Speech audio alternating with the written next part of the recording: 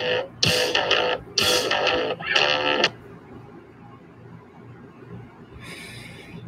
guys, welcome, welcome, welcome. May the Father be glorified. May the Lord Jesus, the Father, Son be glorified. May the Holy Spirit be glorified in Jesus' name. I'm going to pray in a minute. We'll begin in Jesus' name. Yes, Razzles, that's what it means. When I get attacked, that means Satan is upset. So glory to Jesus Christ. But Razzle, instead of fighting with me, debating with me, Razzles, or starting side debates on issues that are not salvific, Help me, Razzles. Now you're Chaldean, meaning you're Assyrian. Assyrian Chaldean were one. Help me. Work with me. Pray for me. And John, just let me share something with you, brother.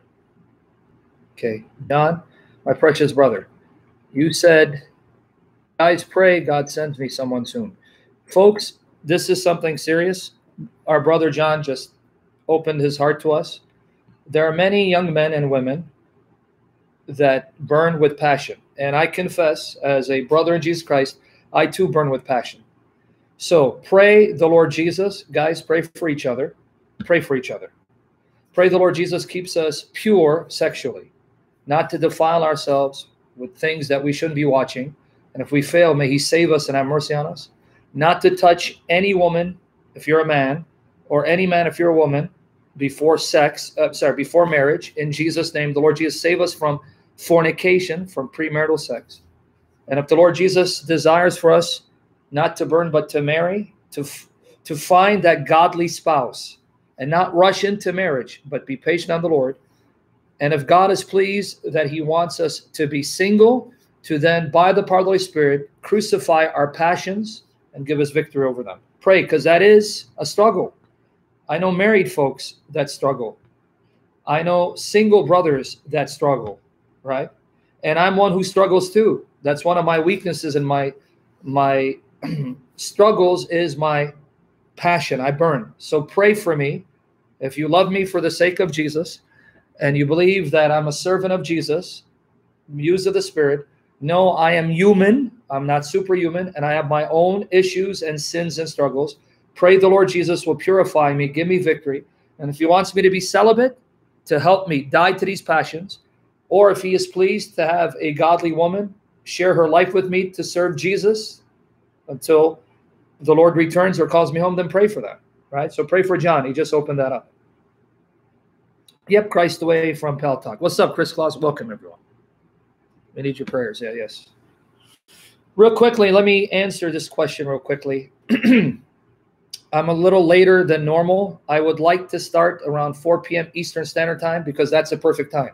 4 p.m. Eastern Standard Time, it's perfect because people in UK, it's not too late for them. But today I was a little later than usual because Satan again tried to discourage me, make me fall into depression and succumb.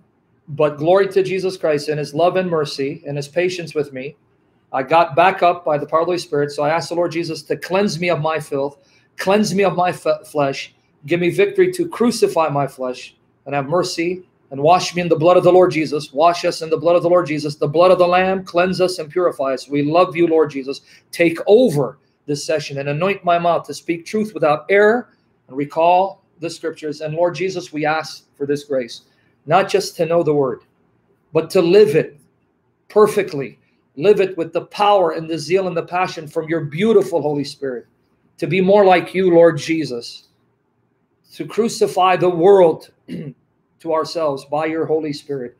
And Lord Jesus, have mercy on us when we fail. And take over, Lord Jesus.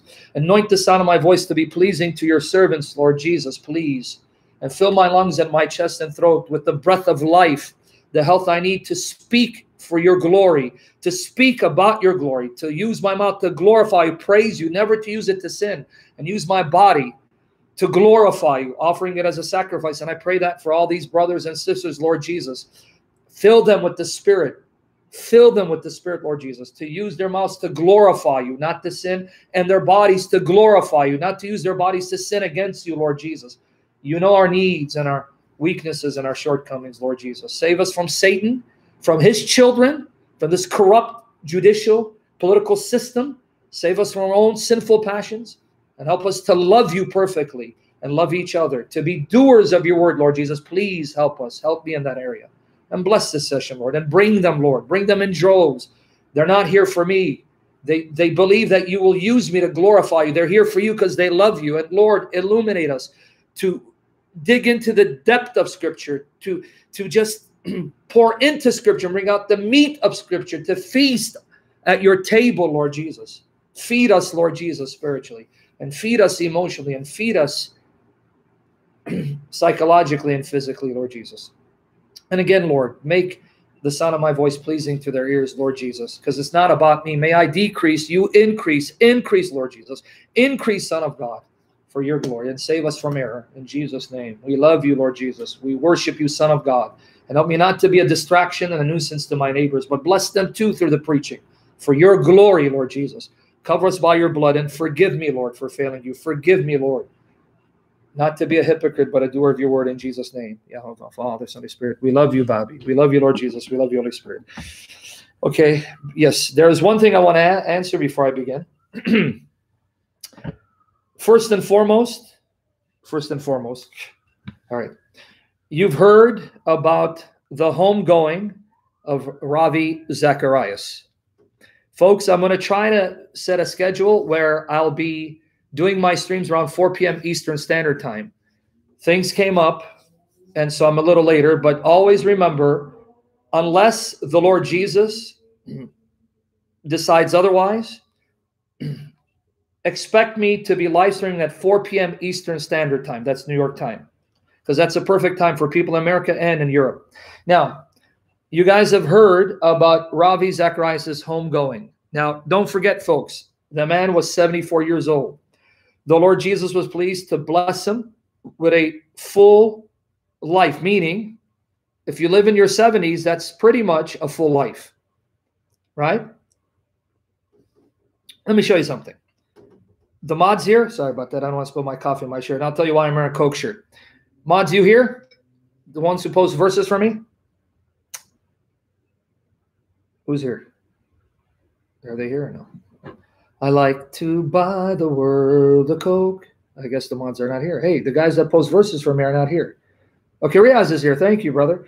Riaz, post Psalm 90, verses 11 to 12. Ontologics. You're going to start this again, dude. Oh, Protestant is here. Riaz, it's not I like Protestant more than you. He's older than you. He's your spiritual senior. So we have to give him respect because remember, he was there during the days of Moses. He was actually there when he saw them build the pyramid. Okay, now, Psalm 90, verses 11 and 12. Read with me. Psalm 90, verses 11 and 12. Thank the Lord Jesus for our brothers and sisters serving me to serve you. Okay, watch here. Who knoweth the power of thine anger? Look, look what the psalmist is saying. He's saying, Who can fathom the power of your anger? When you get angry, who can understand the great destruction that you can inflict upon those that you're angry with. Who can understand how dangerous it is to get you angry? Because if you're angry, there is no power creation that can stop you from pouring out your wrath because you are almighty. Okay? Even according to thy fear, so is thy wrath. Now, notice what he says in verse 12, right? So teach us to number our days that we may apply our hearts unto wisdom. Did you catch it? Wisdom. Now, what's the point? We know we are not going to live forever in these bodies, and that either we will die or the Lord Jesus descends.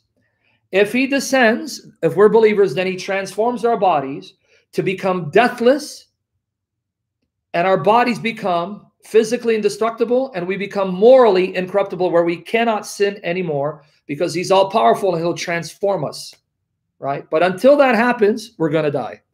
Ravi is 74 years old. The lord jesus was pleased to give him those years to serve him mightily. Okay. He's now entered glory. If you believe the bible folks if you believe the bible and you believe jesus is risen ravi has now been made whole. He is cancer free, he is pain free, he's perfectly healed. If you believe the Bible, his soul, his spirit left his body.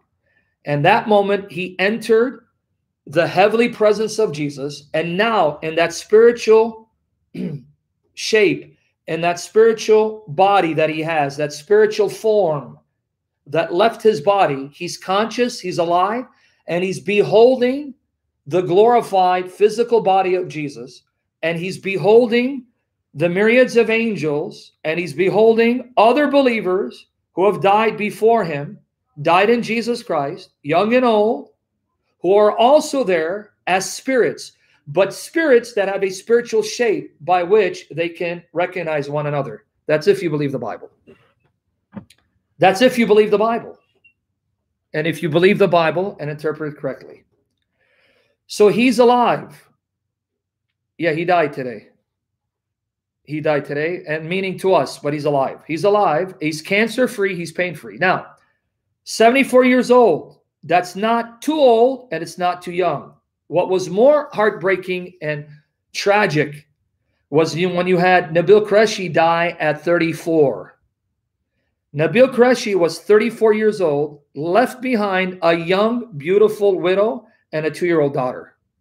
But he too, he too, when he died, his spirit left his body, his soul left his body, and he entered the heavenly presence of Jesus Christ. That's if you believe the Bible. Now, if you're an atheist agnostic, this is all gob gobbledygook.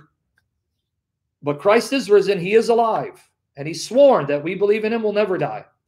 So Nabil too entered without his physical body, pain free, cancer free, disease free. And he too has a spiritual shape and form by which the inhabitants of heaven recognize him. And now he sees Ravi and Ravi sees him. That's if you believe the Bible. Christ the way, if I tell you, you're going to think I'm lying. Right? If I tell you, are you going to believe me or you think I'm lying? And may the Lord Jesus destroy every fear, every doubt, and give me the grace not to be a crowd pleaser. No, I do not fear death. I don't. I do not fear death. I fear my Lord Jesus. Only fear I have is that I don't finish the race by the power of the Holy Spirit for the glory of Jesus, and I die severed from Christ. That's my fear. Right? Right? That's my fear. But now, folks, not only do I want you to see the multi-part series on communion of saints that Andrew mentioned, I don't know if you if you're aware of this. Years ago on Pal Talk, I was asked by Millie Fiore, Millie Fiore, to do a topic on death and dying for a sister in the Lord Jesus Christ named Josie. No, it's okay. You don't need to block. Uh, oh, I thought you said block Timberto. Okay, hold on, hold on. I, I, am Pigeon who pooped on Hatun's head. Let me just uh, talk to him. But oh, well, you timed him out. How I'm gonna talk. Guys, remember what I said, guys? Guys, listen, listen, folks. Remember the new policy now? oh, my, my mods. Okay, guys, new policy. I'm trying by the power of the Holy Spirit, I'm trying to constrain myself, not stumble and sin in my anger when people attack. I'm trying to be patient. I'm trying to learn to be patient with blasphemers. The only time you block, here are the two conditions. If they blaspheme God, blaspheme Jesus' word, immediately block. If they justify abortion, which is murder, block. But that's why I'm going to talk to him. Give me a chance. Let me talk to this man. Just give me one moment. I am Pigeon who poops on Hatun's head. And he's talking about that video clip where a pigeon came on top of her head. Friend, I am Pigeon. Are you here? I am Pigeon. Are you here? I'm trying to take the advice of several brothers and sisters in Christ, godly counsel, because from the mouth of two or three witnesses, then you take it that the Lord is speaking to you. And I'm trying to submit. Okay. Oh, he's out for five minutes? Okay. Coming back to the issue of Ravi. Ravi is a reminder to every one of us. Listen to me. Are you guys listening? My brothers and sisters. And by the way, you mods have permission to use your discretion. If you feel someone is block worthy for some other reason, okay, go ahead. Right? Because you may see that he's too much of a distraction, nuisance. That's okay. But if they insult me, that's okay. As long as they don't blaspheme the, the Lord God and, and mock his word or justify abortion, Let them mock me. It's okay. I'm I'm trying to be a new man, and I won't be able to be success, successful unless the Holy Spirit gives me the power to do it. Ravi is a reminder, folks. Let me remind you. Can you listen intently for the glory of Jesus? Ravi, Ravi, Ravi, Lord Jesus, loosen my tongue. Holy Spirit, save me from error. Ravi is a reminder the Lord doesn't need us. The Lord doesn't need me. He doesn't need Ravi. He doesn't need David Wood. Jesus is God Almighty. He's alive.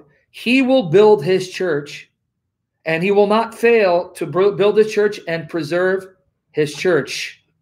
No, you don't need him, Michelle. You don't need Ravi. You need Jesus. If you meant we need Jesus, yes, amen. Because when he said we need him, I'm sorry. I, I misunderstood you. Jesus is going to raise 10 million Ravi Zachariases and better than him. Jesus is going to raise 20 million Sam Shamoons and better than me. Because you know why? I am nothing. This is the truth. I'm not trying to be humble here. I am not trying to be humble here. I'm letting you know and reminding you. I'm reminding you. Christianity is not about Ravi, James White, John MacArthur, John Piper, the Pope. It's about Jesus. Christianity is about Jesus. He is the God of all creation. He's the God of all Christians. We will come and go, but Jesus remains. He is the same yesterday, today, and forever. It's about Him. So it is an honor that the Lord Jesus would use me. It's an honor that He used Ravi in spite of our sins and imperfections. It is an honor to be called by Christ to serve Him and love Him and to be used by the Spirit to cause others to fall in love with Jesus. But at the end of the day, the Lord has been building His church for 2,000 years. And at the end of the day, Ravi Zacharias and I, let me be honest, and I'm not putting myself in the level of Ravi Zacharias. Please don't misunderstand me. We are no Apostle Paul, and we are no Athanasius, and we are no Ignatius, and we're no Irenaeus, and we are no, well, some people won't agree with me, Tertullian. You really want to be impressed? Don't be impressed by us today.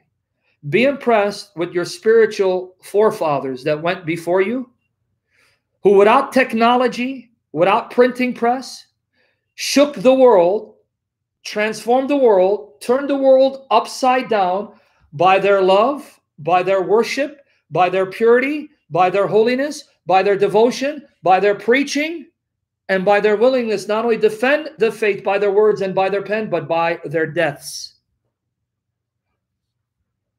Paul did not have printing press. Peter did not have a printing press. Athanasius did not have the internet. And yet, without that technology, because Jesus was with them, they turned the world upside down. And we cannot hold a candlestick to them, and they could not hold a candlestick to Paul. And Paul isn't worthy to lick the sandals of Jesus. And that's the truth. You with me there? That's the truth. Do we got that now? See? As great as Ravi was, okay, now I am the pigeon, my friend. Let me let me ask you a very question. Okay. I am the pigeon who pooped on Hatun's head. Do you want to stay here in the channel and you want to listen and learn? because the mods will block you not for insulting me for being distracting you're going to start distracting you're going to start bombarding us with your text and they're not going to put up with it do you want to sit here and just listen and even disagree with us but still at least listen because i don't want to block you friend i don't i'm trying to be patient but i'm letting you know the mods will block you they will block you okay because you're going to distract them So be careful. It's up to you. Now, someone asked me about forced vaccinations. Okay, let me answer that so we can begin the topic. Are we ready? I want to answer that. Yep. Forced vaccinations. Someone is asking me about forced vaccinations in the context of the mark of the beast. Brother, if you're there, who are you talking to anyway, friend? You and your idiotic channel has been flagged. I have no idea who you're talking to. I can't pronounce his Greek name.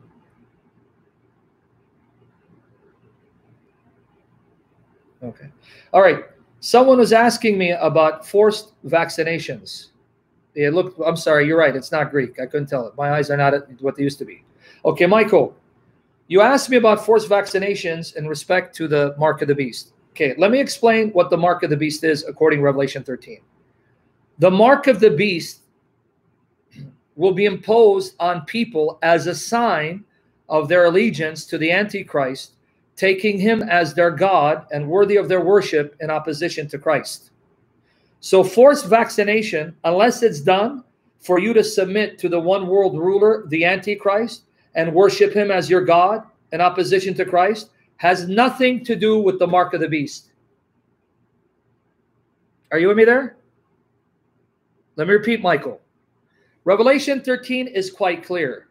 The sin of the mark of the beast is not having a mark on your hand, it's taking the mark as your sign of allegiance to the beast and worshiping him as your God in opposition to Jesus Christ. That's the sin. Okay. Did you understand that, Michael? I'm going to say it one more time, Corbin. The sin of the mark of the beast has nothing to do with getting a tattoo or putting a chip. It has to do with taking the mark as your way of saying, I worship you, you are my God, and I deny Christ. It's done in the context of swearing allegiance to the beast in direct opposition to Jesus Christ. So if they come and tell you, we're going to force this mark on you because that's the leader, your Savior, your God, not Jesus, that's when you say, hell no. Are you with me there? Don't ask me about the significance of 666. The beast is a human leader empowered by Satan, filled by Satan, to cause people to worship him as God in opposition to Christ. That's Revelation 13, folks. Revelation 13. Okay. Now, if you're rejecting the vaccination because you think it's the mark of the beast, then you're wrong. It's not. But if you're rejecting vaccination for other reasons, maybe because someone was telling me it's made out of aborted fetuses, right? And that's why you reject it, amen. If you reject the vaccination on other grounds, that's fine. I'm not telling you take it. But if you're rejecting it because you think that's the mark of the beast, and if you take it, you're swearing allegiance to the beast and God will condemn you, you're misreading Revelation 13.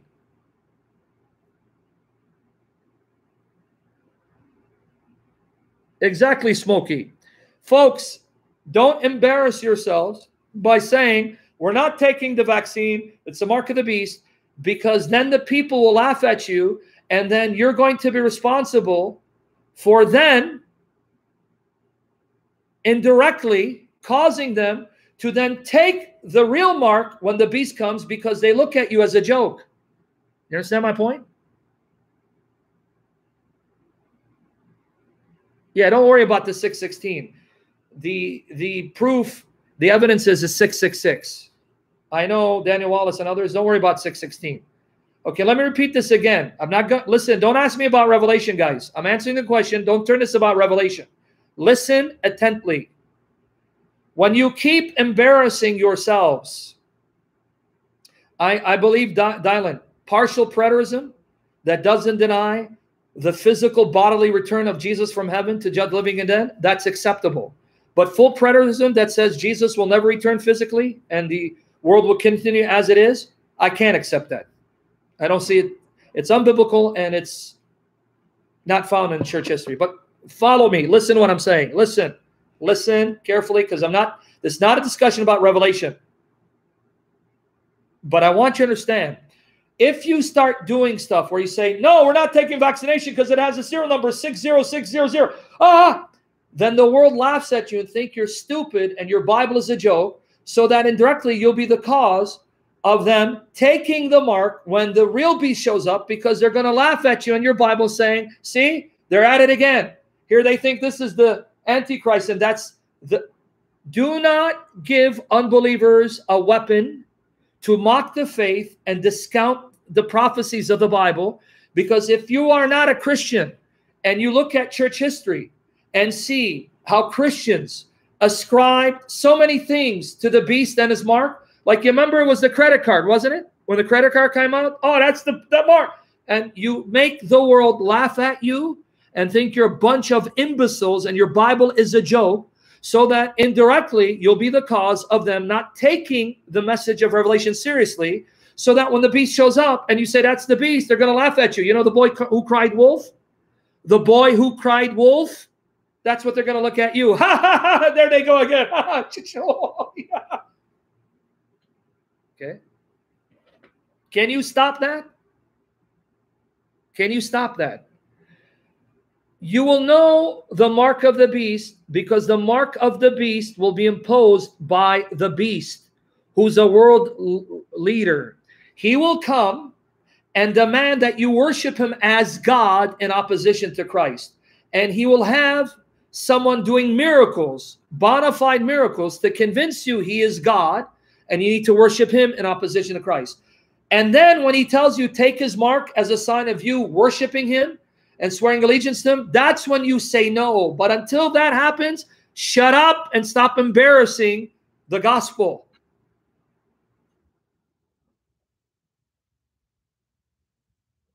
Yes, nightmare, your worst nightmare. Read Revelation 13. It tells you that the mark is imposed on you as a way of, of you swearing allegiance to the beast when he shows up with the false prophet and does miracles, saying, See, I am the God that you need to worship. Forget your Jesus. That's when it's the mark of the beast. Until he shows up. He's not here. Stop embarrassing us. In fact, Andrew Martin remembered. You remember it was the barcodes. Hey, they're now use the barcode. That's the mark. Be careful. You take the mark. Come on, man. You're embarrassing us. You are slandering the Bible, and people will take the Bible as a joke. In fact, here, let me prove it to you. Wait, wait, wait. Let me prove it to you. Let me prove it to you. Uh-huh. Satan has his children. Let me prove it to you. Here. Part of the reason why this book was written. Bart Ehrman is making the rounds again. Reason and Theology, a Catholic apologetics ministry, invited him to talk about this book. And an evangelical Christian named Chris Date interviewed him for this book. Okay, here you go. Heaven and Hell a History of the Afterlife by Bart Ehrman. Do you know why he wrote this? Because he says he got sick of people misinterpreting the book of Revelation, misapplying Revelation. And so he decided to write a book to tell you what Revelation really means in order to stop the Christian misinterpretation of Revelation. So, because of that, more people are going to take what he says seriously who already hate the faith and laugh at you and your view of Revelation, especially when you keep making yourself look like a bunch of braying asses. Yes, an atheist agnostic. But he's so influential, Jake, 1999, that Christians have to take him seriously and interact with him. Do you know that? I'm not lying to you. I'm not lying to you. It's why I wrote the book right here. I got it. And the guy is a brilliant writer and speaker. He is captivating. If you're not grounded in your faith and you're you're not cleaving to the Lord Jesus, he's captivating. He's a good debater. Go see what he did to Chris Date and to the Reason and Theology team. Go see. He was schooling them because he's on a mission to try to destroy people's faith in Christianity. I'm not exaggerating. Okay. So you get my point? Let's stop embarrassing one another, folks. Let's stop embarrassing one another. Let me repeat if you read Revelation 13 properly, no, he's not. Ariel, remember? He was on Reason Theology. He was pretty much schooling them as he did Chris Date, an evangelical Ariel. I was just listening to an interview. Chris Date in, uh, invited him to Rethinking Hell. He's got an interview with him. I didn't finish it. Boy, was he schooling Chris Date. He's a serious opponent that we cannot take lightly. Okay, now with that said, oh yeah, I was watching her because they brought him because brought him because he he believes in annihilationism and he wanted to have Bart Ehrman explain why he believes the Bible teaches annihilationism. Okay, so let me repeat this one more time, one final time. One final time. That's okay, Garth Freeman. If you believe in annihilationism, I'm not here to change your mind. Let's focus on the topic. okay, read Revelation 13 carefully, folks, please. When is it the mark of the beast and when is it sin to take it? When the beast, the human ruler, empowered by Satan, filled with Satan, used by Satan, accompanied by a false prophet who will be empowered by Satan, Satan to do miracles, bona fide miracles, demanding the nations to worship him as God in opposition to Christ. That's when it's the mark of the beast. That's when you don't take it. Read Revelation 13, please. Up until that point, please do not mention, ah, forced vaccination, Bill Gates, it's, it's, the, it's the mark of the beast, it's Gates. He thinks, even his name, Gates, even his name, Gates, that's the gates to hell. Help me, save me. Yeah, well, because, yeah, you can read it, Zena. I'm not uh, partial preterist, yes, they try to say that this is referring to events leading to 70 AD. I'm not convinced, but that's okay as long as they believe that Jesus will return physically, bodily. That's all that matter, matters. Okay? But that's what you're. So don't, no, it's not going to happen, Shalom Lechi. Don't turn it into a discussion eschatology. Lord willing, in the future, I'll talk about my views, which really doesn't mean anything, my views. Folks, let me just be honest and hurt your feelings. If you study the scriptures in context consistently, without any preconceived tradition, let me just break some of your hearts. There is no rapture before the seven years, and there is no rapture before the midpoint. At the midpoint, there isn't. I'm sorry to break your heart. Okay. God willing, in the future, I'll show you why this argument of a seven year Pre tribulation rapture is a tradition that's recent in history, and you got to do a lot of quoting out of context of the Bible to, to arrive at that doctrine. Okay, guys? I know I'm going to upset some of you. You're going to get upset with me, but you asked my opinion, right? I used to believe the pre trib rapture in seven years, but then again, what has been my prayer? What has been my prayer? Okay, what has been my prayer? Holy Spirit, please Holy Spirit, please, you are God Almighty, the perfect teacher. Jesus sent you to seal us and preserve us in holiness, in purity, in love and devotion, and to transform our thoughts to think God's thoughts after Him. Teach me how to understand the Bible and save me from error. And it this journey with the Holy Spirit hasn't finished. Only He knows, the Holy Spirit knows where I'll be a year from now if I live for another year or where I'll be 10 years from now, but I am trusting the Holy Spirit. And through that process, I believe the Holy Spirit has shown me you're wrong here. Don't hold on to this. You're wrong here. Don't hold on to this. That position was right, though you opposed it. And that's my journey. Susan Mallow, what is this I call the police? What is up with you and the police? I call police. I don't get it. Who you calling? Why, why you want to call the police? Okay. Now, before I begin, I just want to make some book recommendations, or not book recommendations, is just tell you God has blessed me with a huge library, but most of my books are in storage. I don't have access to. And most of these books I have not read. Thank the Lord Jesus for calling me into full time ministry. And thank the Lord Jesus for blessing people and stirring their hearts to partner with me because that has helped me over the years to amass a library. I have a lot of books I haven't read. So when there's a book that's interesting, I purchase it and I shelve it until I need to then read it or at least look into that book for a particular point or argument. Right now, here are the books that I have access to that I'm trusting the Lord will help me find time because we have nothing but time to devote myself to studying. Okay. Let me shock some of you because someone just spread a rumor about me, and I'll mention it. I just showed you Bart Ehrman's book, right? Thank you, Christopher Acosta. Here it is Heaven and Hell, Bart Ehrman. Hopefully, by the grace of God, the f- number one priority in the Christian life, your Bible. Re- read your Bible or hear your Bible because that's God's word. That's number one. That's your spiritual food. Now, here's this. I want to read this book. I want to finish it, God willing. Now, here's some other books I want to read. Where is that? Anyway, oh yeah, hold on one second. Yep, he's in. A, well, uh, Saint Denis. Here's what's ironic. He doesn't believe in heaven and hell. He doesn't believe in an afterlife. He doesn't believe in God. But he wrote a book showing that if you interpret the Bible correctly, the Bible teaches annihilationism, even though he doesn't accept the Bible. I can't, Razzles. It's a small apartment and I can't fill my house with books because then I need to rent another apartment. And then that means, Razzles, instead of the 50 cents you send me every month, Razzle, you'd have to send me 500.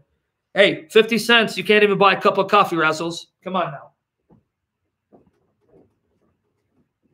Let me show you something. I needed to show these books and what I want to do for the benefit of those who haven't been raised in a Protestant tradition.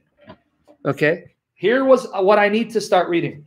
Pray God will give me spiritual and physical discipline. The spiritual discipline to be purposeful and intentional in seeking God's face, worshiping Him. That's for all of us.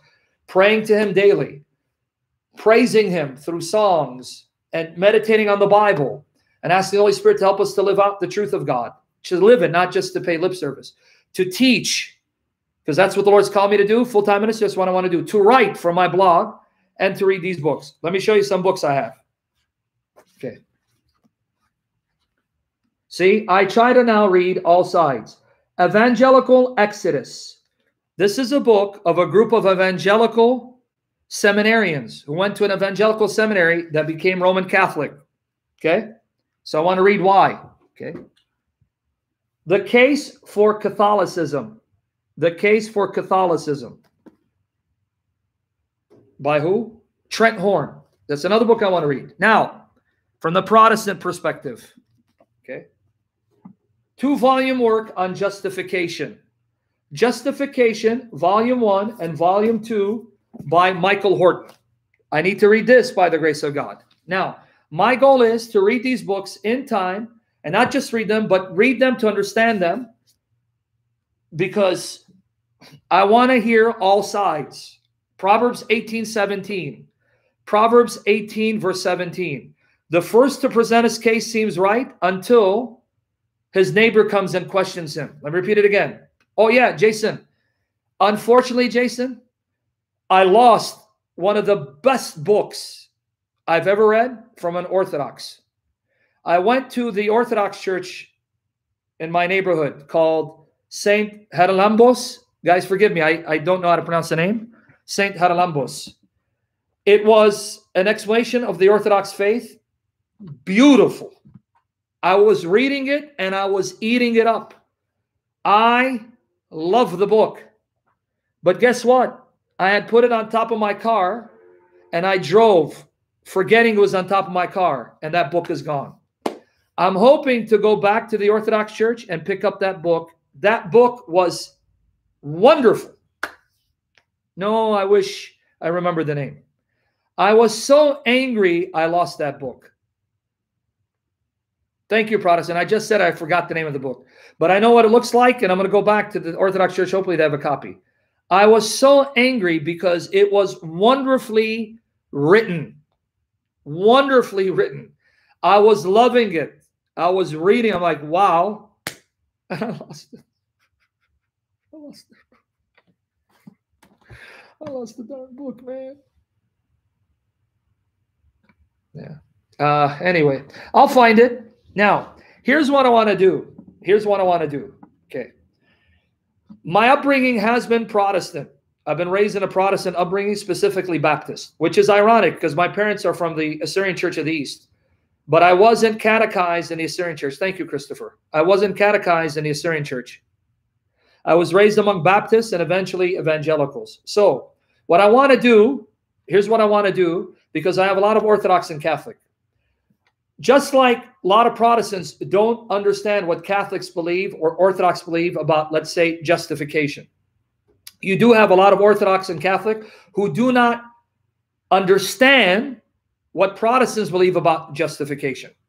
And then you have those Orthodox scholars and Catholic scholars that do understand what Protestants believe about justification, and Protestant scholars who understand what Catholics believe and Orthodox believe about justification. Since we have a lot of Orthodox and Catholic, this is what I want to do.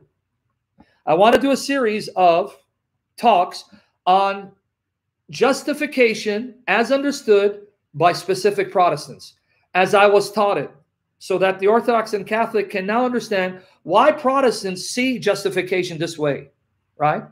Now, unfortunately for me, unfortunately for me, I am not qualified to talk about the Catholic understanding of justification, nor am I qualified to talk about the Orthodox understanding of justification. But what I want to do, if you're interested, I want to do the series on what I was taught about justification from a Protestant perspective, and then give you links to Roman Catholics and Orthodox and their view of justification so you can hear all sides and seek the face of the Holy Spirit to guide you into all truth. If you guys are interested, without this causing World War III and you stoning me and saying, see, he's not Protestant, he's not Orthodox, he's not Catholic, he's just confused. If you're interested. Okay? Because I'm not trying to convert you to any position. I'm not. Listen, if you worship the triune God, you worship the triune God, you love the triune God, you believe Jesus is the God man who died, who rose physically bodily, who sits enthroned physically bodily, will return physically bodily. He was conceived to and born from the Blessed Virgin without any man touching her.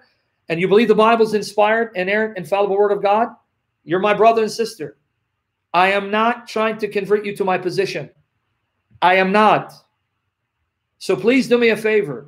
If you believe you have the right understanding of, let's say, justification, challenging me and attacking me as some do in the comment section, you're not going to get me to listen. That's what I said, the Trinity canons, obviously. Trinity is a non-negotiable for me. Because I've had people in comment section, hey, Sam, you know, you're a heretic and you Protestants are heretics and you need to come back to the true church, Catholic Church. I used to be Dominus. I'm not anymore. You know why? because you have Orthodox here, you have Assyrian Church of the East here, and you have Catholics.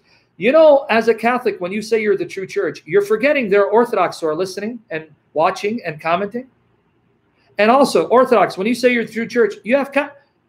So what's going to happen is the Orthodox will come in. No, no, no, no. You lost your way. The Pope usurped too much authority. And the Catholic, no, the Pope is the vicar of Christ, the successor of Peter, and your bishops need to be in subjection to him. And then starts World War III. Al Masihu Akbar! Al Masihu Akbar! So if you guys want, without this leading into World War III and you end up attacking me, I will do a series on justification from a Protestant perspective. So you can hear that perspective and see what verses they post. So at least if you don't accept it, at least you see what they're quoting. And then I'll give you links to other views if you're interested. Finally, and we begin. Finally, today a brother in Christ texted me. A brother in Christ texted me. Let me read to you what he sent me. Okay. Someone saying that? Yeah. How many text messages I got? All right. Look at this message, folks. Didn't I tell you this series I'm doing on Community Saints? I'm going to get people to criticize me. Watch here. Guys, here's the text message. I won't tell you who the brother is. Watch here. George said, you jumping the fence and became a Catholic. George said, You jumping the fence and became a Catholic. Now, I won't mention the brother's name, but he's talking about George Saieg. George Saieg, who is the founder of Ministry to Muslims. The founder of Ministry to Muslims, who I've worked with in the past, he now is going around saying, I've become Catholic. And you know what's ironic about that? People in the West, West associate communion of saints with Catholicism. But they forget to realize that you have also Christians in the East, the Assyrian Church of the East, labeled Nestorian Church, the Miaphysites. I know the Coptics are Miaphysites. The Orthodox, and they believe in the communion of saints. Why automatically assume I became Catholic? Maybe I went back to the Assyrian Church. Maybe I'm looking into an Orthodox church, or maybe I'm confused. I'm Roman Orthodox. of the East. So I combine all three. I'm Roman Orthodox of the East who protest against everyone. How do you know what I am and what I will be? I will be whatever the Holy Spirit wants me to be for the glory of Jesus. Whatever the Holy Spirit wants me to be for the glory of Jesus. I will be Roman Orthodox of the East who protest against everyone. How about that? The protesting Roman Orthodox of the East. You like that, folks? You want to label me? Label me. The protesting Roman Orthodox of the East. Okay. And you know why I'm wearing my, my Coke t-shirt? We're going to begin right now. You know I'm wearing the, my Coke t-shirt? Because I want to be friendly, right? I like to buy the world a Coke. You know that commercial where if you love someone, you give them a Coke, right? So that's wearing my shirt. Now, for you Jamaicans, the other day I was singing a song. Remember I was singing, Come Back to Jamaica. What's old is what's new. That's right. Now, Ariel, that's one of my Sahih narrations, Ariel. Ariel, you've been commissioned to write my Sahih collection. You have to have three narr narrators in the chain that you heard me say, I am the protesting Roman Orthodox of the East. Okay, now, so you know I wasn't making up that song? Here you go. Here you go, and we begin. Come back to Jamaica. Come back to gentility. What's old is what's new. Come back to your beauty. We want you to join us. Come back Come to back, our man. people. We made Irie man. for you. Shaba. To hospitality. So make it Jamaica. Come back. Come back, come back, man. Make it come back. your Come back to tranquility. own. Make it Jamaica. Shaba. Come back to See, my Nubian romance. princess, you thought I was lying to you. Violent home. Come back to the way things used to be. Make it Jamaica. Make it Jamaica, man.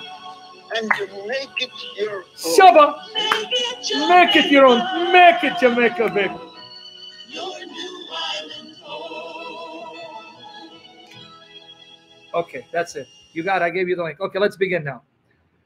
These are the three questions I want to answer because it came up yesterday and it was already over two hours, so I didn't have time to address them. Guys, do remind me to give you links to some of my articles. La Aziza Razos, Khali Ola Burazil. I'm going to speak Assyrian to you, Jilu style. Khali Burazil. That's a bad word, Golishane. Do you want me to speak Urumajnaya to you? That's a bad word, Golishane. Khali Shwaribu. I know Hafsa. Bak, bak, bak. She likes that. We don't say that because that's a bad word in Jamaican. I learned that from a Jamaican brother. You don't say that. Khali Ola Burazil. Rascals, why don't you just start World War III? Start throwing swear words and give people my social security and where I live so they can come and behead me. All right, with that said, yesterday we went over two hours and glory to God, we had about 300 people. Glory to the triune God. I pray it increases. Now, there were three questions asked.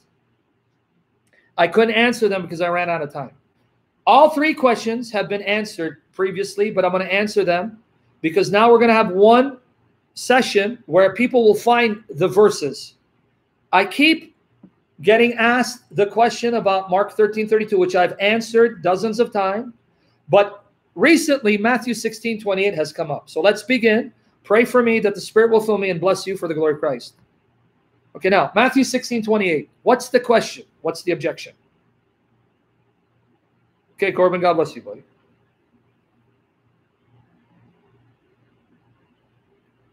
See, here we go. Revelation 17 is the Roman Catholic Church. Okay. Can I address this real quickly? Jesus is mighty God. If you were to expand your knowledge, Jesus is mighty God. Let me real quickly address this. Okay. You would know that there are even Roman Catholics that think that the Antichrist will arise from the papacy, not because the Roman Catholic Church is false, but because Satan will infiltrate the church, being the true church, and try to corrupt it and mislead people. So even if you say, see again, if you just open yourself to a variety of opinions, even if you say, even if you say revelations about the Roman Catholic Church, that still doesn't mean Now, don't get me wrong, I'm not Roman Catholic, but I'm just trying to say that still doesn't mean it's a false church. It only means it's a church that's infiltrated, infiltrated by Satan because he sees it's, and this is an argument by Catholics, by the way. Ask any Catholics, they'll tell you, because it's a true church, that's why Satan has penetrated it. Satan is attacking it. Satan is inf- infiltrating it. Are you with me there? You have Catholics like Michael Voris, Michael Voris, who is a militant, diehard Roman Catholic, who loves his church. He will tell you Satan has infiltrated the Vatican. Satan has infiltrated the Vatican. But they'll tell you the reason why. That's an argument that it is true. Because why would Satan infiltrate a church that's corrupt? You understand my point? Yeah. And Taylor Marshall. Okay, but Jesus is mighty God. You understand? You're not showing to Catholics that their church is false. What you're actually showing them is our church is true and it's been infiltrated by Satan, but the true believers of the church see it for what it is and are calling it out. They're calling it out, not only you. In fact, here, Jesus is mighty God. You got Catholics here. Is there any Catholic here that would not say that what the Pope did in kissing the crown was wrong? How many of you Catholics say he was wrong for kissing that book, that unholy book?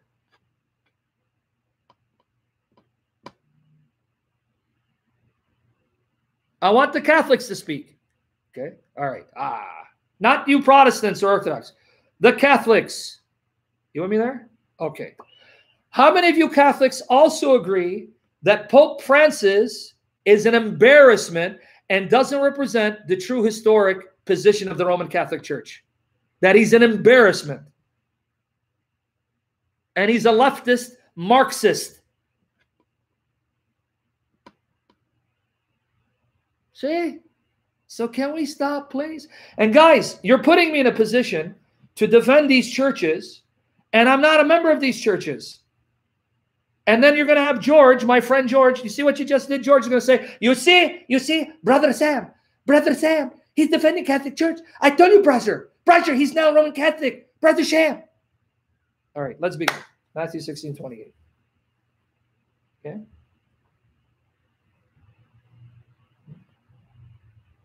Folks, Netta said something yesterday. Do I think I'm the unifier of the churches? No, I'm not. I'm not a unifier. I'm a sinner that's trying to be honest to God and scriptures and be loving to those who I believe are brothers and sisters in Christ. Uh, Eli, I don't know if you understand it, that the Catholics believe that the office of the Pope is ordained by Christ, but not everyone who assumes that office is truly a Christian. He can be of the devil, an anti Pope. So you're not catching the Catholics by surprise. They already say the office of the Pope is an office instituted by Christ, but not everyone who has assumed that office was a true Christian. He could have been a plant of the devil, used of the devil. And this is not a modern argument. You can find way back that one of the popes, Honorius, was condemned by subsequent popes for teaching the heresy, what they believe the, her the heresy of monothelitism. Now, Catholics, am I wrong here? Yeah. Am I wrong in what I'm saying here? Can you help me out here? Because you guys should be doing this, not me. Okay. So, folks, can you leave me be? I don't want, I'm not an apologist for the churches, man. I want to be a servant of Jesus and serve the churches. So, can you? Because again, see, it's like, you know, you know, uh, what was it, Al Pacino in The Godfather? They keep pulling me in. Every time I want to get out, they keep pulling me in. I'm going to get more. I'm to get more text messages. Brother, Sam Shamoun, brother, he's now become Catholic. He crossed the Tiber. Brother, warn people, warn people. Okay.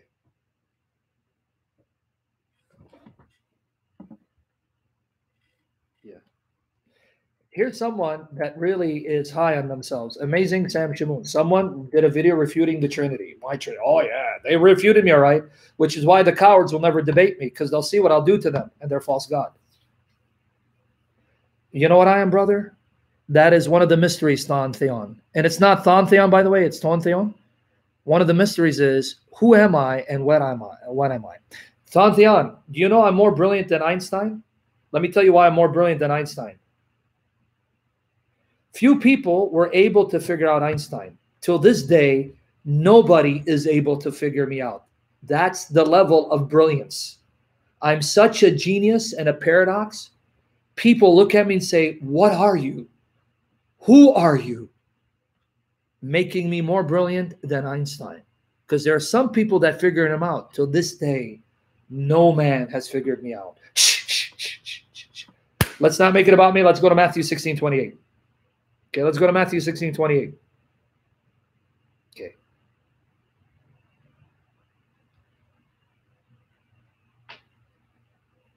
Okay, let's read, folks, the objection. Verily I say to you, there be some standing here which shall not taste of death till they see the Son of Man coming in his kingdom. Now, what does that mean? What does it mean that Jesus said some of those standing before him would not die until they see the Son of Man coming in his kingdom? Obviously, they all died. And if Jesus coming in his kingdom means Jesus returning to the earth, that never happened. Is this a false prophecy? You understand the objection? Can we now get to the objection? It's because I want to answer this. I already answered this in one of my previous sessions, but are you ready for the answer now? Have I gotten your attention? Uh, friend, we just said if anyone mocks the Trinity, blasphemes the Trinity, we're going to muzzle them and send them to their doghouse. Stop making fun of the Trinity because you're going to embarrass yourself. No, no, no, Jake. Uh, instead of you telling me what you think, you understand what the objection is, though. Okay, Rob Dylan. Uh, you know, the same people point to the schisms of the church to show there was no church until Joe's Witnesses restored the truth, Rob Dylan. So if you're going to go that far, take it to the extreme and say the church was lost because in the West, the only church you had representing Christianity was the Roman Catholic Church, and in the East, none of those churches agree with you or are identical to what you believe. So don't go there. You're going to end up destroying your own faith and become a Jehovah's Witness or a Mormon or an agnostic. But now understand what the objection is. Okay. Jesus said, those standing in front of him, some of them will not die until they see the Son of Man coming in his kingdom. If coming in his kingdom means the second coming, they all died. It's a false prophecy. So, is this a false prophecy? What's the answer? Are you are we ready for the answer? Are you ready for the answer? Are we ready now for the answer? Not going to side talks and tangents, please. All right. Mike for Christ, you're not ready for the answer? Okay. So Mike for Christ is not ready for the answer. Okay. Everyone else is? All right. Everyone else is ready for the answer. Okay. Number one, if you follow me, you're going to get the answer. Number one, this saying of Jesus is found not only in Matthew, but Mark and Luke. Yeah, one means yes, two means no. Okay. This saying of Jesus is found in Matthew, Mark, and Luke. So Matthew records this saying of Jesus. Mark records this saying of Jesus, and Luke does. So now let's look at the two other versions. Let's go to Mark 9 1. Mark 9 1. Following, follow with me so I can explain it's not a contradiction and we can move on. Is Anna here, my precious sister? I thought she was. Okay. Mark 9, verse 1. And he said unto them, Verily I say unto you, that there be some of them that stand here, which shall not taste of death, till they have seen the kingdom of God come with power. Now notice, kingdom of God come with power. Kingdom of God come with power. Thank you, Rob Diamond. Rob, can we focus on these objections, brother? If you want to have a discussion about the Pope and the Catholics, there are Catholic channels that do that, brother. Honestly, there are. Reason and Theology. And if you want to hear an Orthodox pers perspective, Jay Dyer. But focus on this passage, Mark 9 1. And he said unto them, Verily I sent to you that there be some of them that standeth here, stands here, which shall not taste of death till they have seen the King God come with power. Kingdom of God come with power kingdom of God come with power. Okay, so now Mark records the saying of Jesus. Same saying. What about Luke? Luke 9, 27. Jesus is mighty God. Be patient. I'll show you what the answer is. It's so easy. You're going to say, wow. Just let me first give the verses. Luke 9, 27. But I tell you of a truth, there be some standing here which shall not taste of death till they see the kingdom of God. So notice Matthew, Mark, and Luke. All three of them record the saying of the Lord Jesus Christ.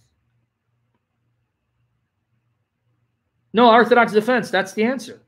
You got it. That's the answer. Contextually, that is the answer. And I gave that answer a while back. You were right. That's the answer. Now, you want to know what the answer is? Orthodox gave it to you. Folks, is it a coincidence? Is it a coincidence that all three gospels, after narrating Jesus' words, followed up with Jesus going to the mount and transfiguring before them? All three, when Jesus says it, all three gospels follow up with the transfiguration. Let me show you. Matthew 17, verse 1. Because it came up again, I'm going to answer it, and that's it. Uh, hopefully, I won't answer this again. Hopefully. Okay. Matthew 17, verse 1. And after six days, notice right after he says it, after six days, Jesus taketh notice some of them. Some of them, right? Only three, not all 12. Peter, James, and John, his brother, and bringeth bringeth them up into a high mountain apart. Mark 9 2. What's good? Are you going to waste my time with nonsense that we've already refuted? Stick around. If you want an answer, I'll answer that if you're not here to play games. Okay, now, Mark 9, verse 2. Mark 9, verse 2.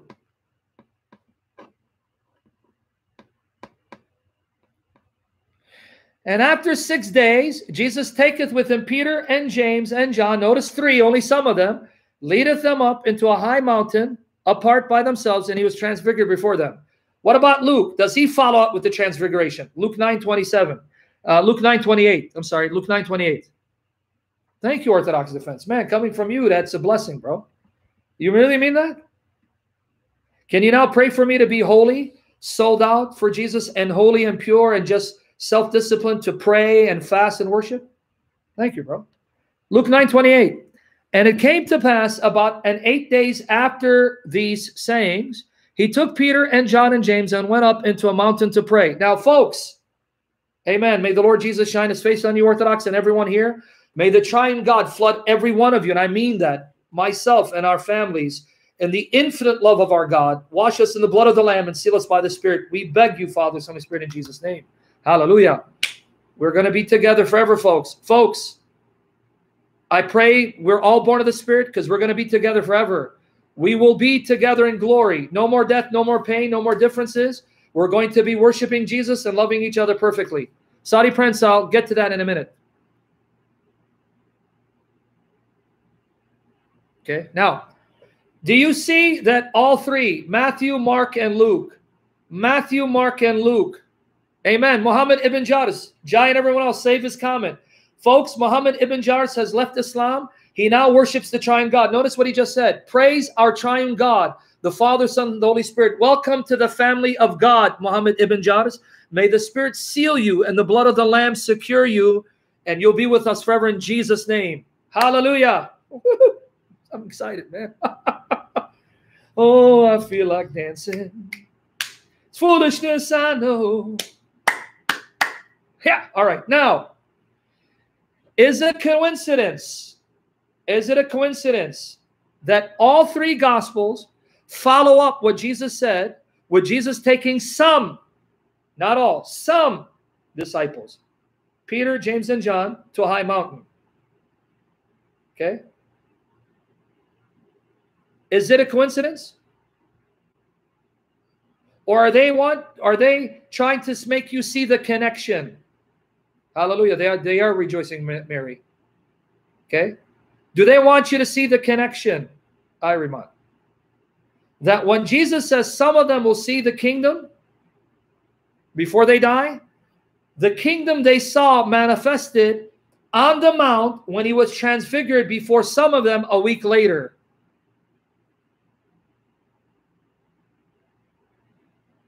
Hold on, Mike. Let me finish these questions, brother. If you ask me a question and I go off topic, then no one benefits. Yep. Okay. Now, did everyone get that? The kingdom of God appearing in power is how Jesus will appear when he comes in glory. And on the Mount of Transfiguration, Jesus showed them what he appears as when he's in his glory. They got a taste of what Jesus looks like in his heavenly glory and what he will look like when he comes in power. And some of them saw it, not all of them. Exactly Orthodox defense. So now let's read Matthew 17, verses 1 to 9. That's the answer. Just keep reading context. All three gospels follow up what Jesus said with the Mount of Transfiguration. They already tell you what it means. Yep, only some saw it, not all. Amen. He's infinitely beautiful. Okay, now Matthew 17, verses 1 to 9. Here's the answer, folks. Watch here.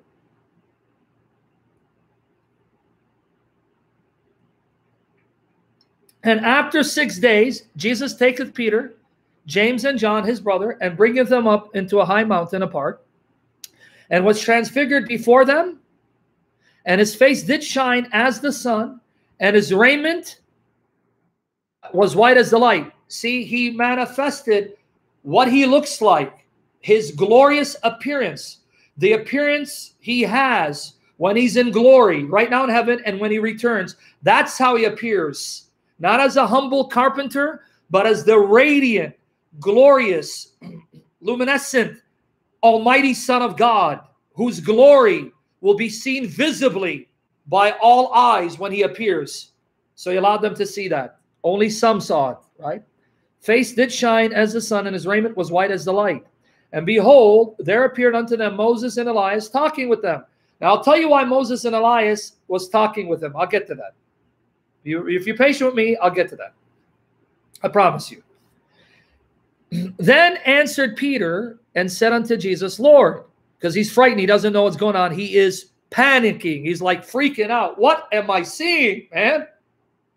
It is good for us to be here. If thou wilt, let us make three here three tabernacles, one for thee, one for Moses, one for Elias. Notice, folks, they realized that was Moses and Elias. Pay attention. Guys, please remember. I want to unpack the meat of scripture for you guys. While he yet spake, behold, a bright cloud overshadowed them. And behold, a voice out of the cloud, which said, This is my beloved Son, in whom I am well pleased. Hear ye him. Now watch 6 to 9. Watch 6 to 9. Oh, they did? And when the disciples heard it, they fell on their face and were sore afraid, trembling. And Jesus came and touched them and said, Arise and be not afraid. And when they had lifted up their eyes, they saw no man save Jesus only. Now watch verse 9. And as they came down from the mountain, Jesus charged them, saying, Tell the vision to no man until the Son of Man be risen from the dead. Do you guys catch it?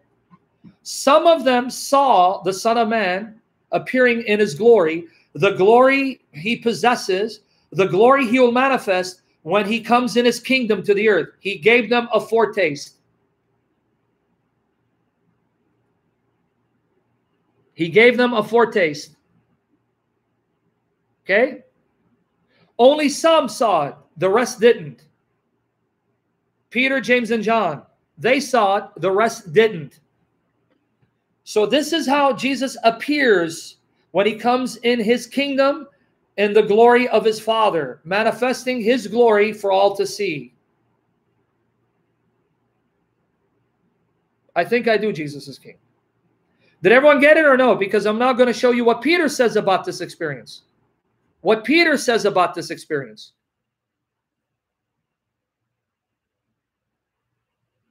Exactly, Talitha. It shows that Muhammad was demon possessed. Peter himself, David Wood fan account, Peter himself mentions this event and describes it as Jesus being revealed in glory. So only some saw it Peter, James, and John, the rest didn't. They saw what Jesus looks like when he's in his glory. Right now in heaven, in heaven, you don't see a humble carpenter, an ordinary flesh and blood Jew.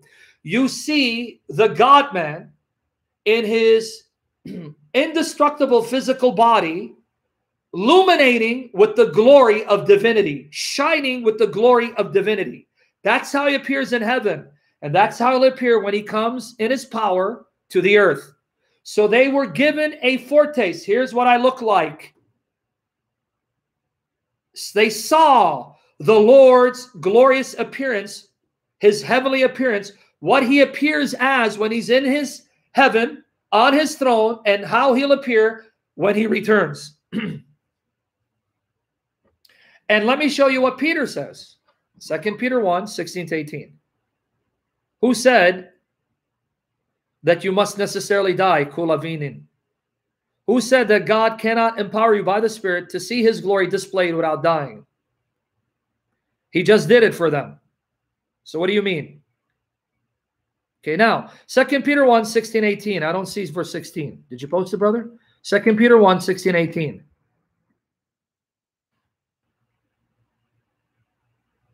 Exactly Orthodox defense. Even though you're speaking foreign language, they don't understand what Orthodox mean between energies and essence. The essence of God is unfathomable, but his energies can be manifested. You're talking a foreign language because even someone like me, well, I'm not trying to say I'm something special. Forgive me. I'm saying even someone that has interacted with various traditions, I still need to study what the distinction is. But anyway, Second Peter 1, 16, 18. Now read. For we have not followed, Peter speaking of the experience, for we have not, for we have not followed cunningly devised fables when we made known unto you the power and coming of our Lord Jesus Christ. But we were eyewitnesses of his majesty. For he received from God the Father honor and glory when there came such a voice to him from the excellent glory This is my beloved Son, in whom I am well pleased. And this voice, which came from heaven, we heard when we were with him in the Holy Mount. Did you catch it? We were eyewitnesses of his majesty, and we saw the glory and the honor that he possesses by virtue of being the beloved Son of the Father. And the Father's voice we heard audibly testifying to the glory of the Son. Right? So now that I've answered Matthew 16 28, is that clear? I don't need to answer this again. David Wood fan account. You will see Jesus in glory when you enter heaven or if he returns now. So even though you are not there to see it, this is what we call the beatific vision. All believers born of the Spirit will see the glorious, luminescent Christ. Okay? That is the privilege that Jesus gives us who are the members of his body. In fact, right now as we speak, you know who just beheld that glory of the Son? You know who just saw the luminescent glory of the divine Son of God? Ravi Zacharias. If you believe, see, if you're an agnostic atheist, this is all, you know, make believe, fiction. But if you believe this is the Word of God, and the historical Jesus walked this earth, and the historical Jesus rose from the dead, and he's alive, then you must believe Ravi, when his soul left, he saw the glory of the Son. Exactly, Mike AD. That's what's astonishing. What's good? Can you be patient with John 14, 28? If you want an answer, be patient. I've already done a video on it and I have articles on it. I'll address you. Just be patient. This is not about you. I know you think it's your world and we're squirrels in your world. Okay. Okay, everyone clear?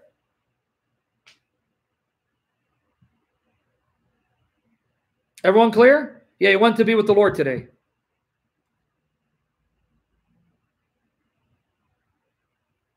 Yes, it means that you're going to see the glorious luminescent Son of God in his glorified physical body with the glory of his divine essence, the glory radiating. So you have no doubt, behold you before you is the God man. You'll see him for who he is, the God man, not simply as a flesh and blood Jew who had covered his glory so that when he was on earth, the Jews couldn't recognize this was their God. Al-Majim, do you really want me to answer you and embarrass you with this, man? Do you really want me to attack Muhammad and show why Muhammad is scum for creating zombies like you, blasphemous pigs like you. Okay. Now, with that said, let's go back to Matthew 17. Let's read verses 2 and 3 again. Matthew 17, verses 2 to 3. Exactly. Judas was one of those who died. He never got to see the glorious Christ manifest because he wasn't on the mount, and he never got to see the risen Christ. Okay, now, Matthew 17, 2 to 3. Guys, pay attention here. Matthew 17, 2 to 3. And was transfigured before them, and his face did shine as the sun, and his raiment was white as the light. Okay. And behold, there appeared unto them Moses and Elias talking with them. Moses and Elias talking with them. Now, verse 4. Don't let the children of Satan distract you guys. Verse 4. Watch here, because I'm going to tie it all in. Watch here. Before the rapture. Oh, you did. I'm sorry. I was going to blame him for my mistake. Then answered Peter and said unto Jesus, Lord, it is good for us to be here. If thou wilt, let us make here three tabernacles one for thee, one for Moses, one for Elias. Folks, pay attention. I want you to pay attention to learn. Moses and Elias would have appeared without their bodies. And I covered that in great depth yesterday. In other words, when they're appearing, they don't have physical bodies. And yet, Peter knew that was Moses, that's Elias. So, what do you learn here? You learn two things. Even without a physical body, you have a spirit. Your spirit leaves your body, and your spirit has a shape and a form by which you can be recognized. It's number one. You with me there?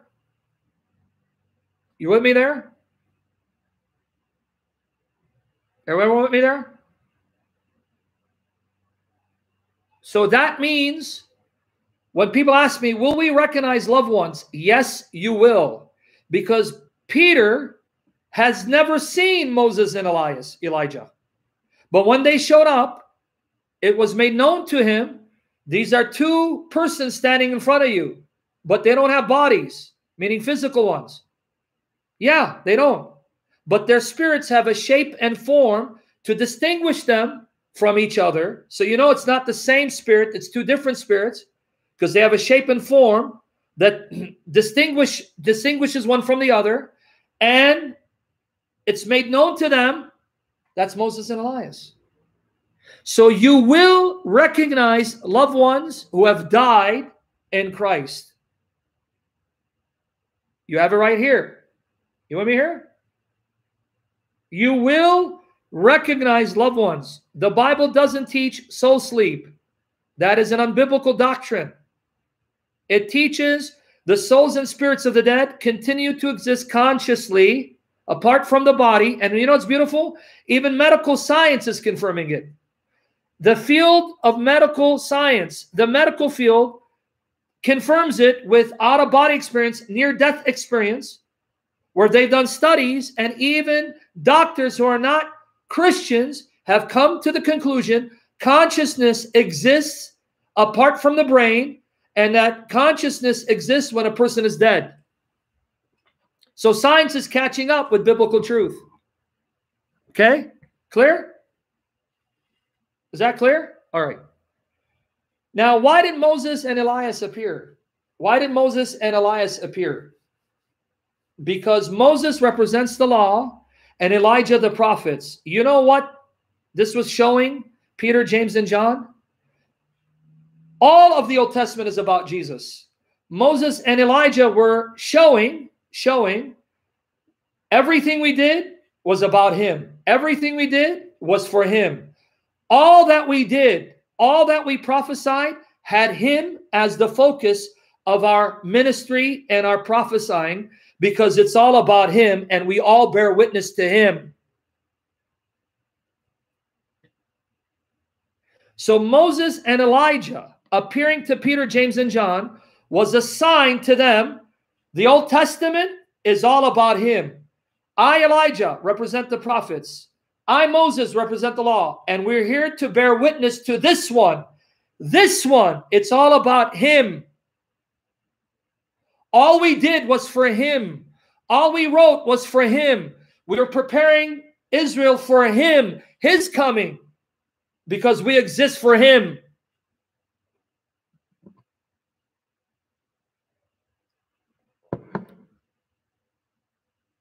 You with me there? Is it is it sinking in before I move on? Or am I boring you? Because we went from 200 down to 164. I don't know. It's like, man, I, I lose people. Are you with me there? So this is a message to the unbelieving Jews. Unbelieving Jews, this happened whether you like it or not. Jesus was on the mount, he transfigured. And your own law and prophets bear witness of him. There is no other Messiah besides this one. And if you reject him, you have no Messiah. Now, let me show you something else. Something that's even beautiful, just as beautiful. Acts 9. Acts 9.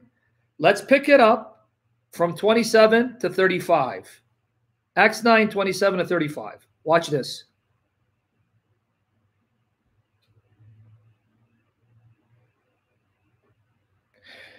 I'm sorry, Luke 9. Why did I think Acts 9? I'm sorry, Protestant. I'm you're contagious. You're more deadlier than COVID. Thank you, choose Jesus. God bless you, brother.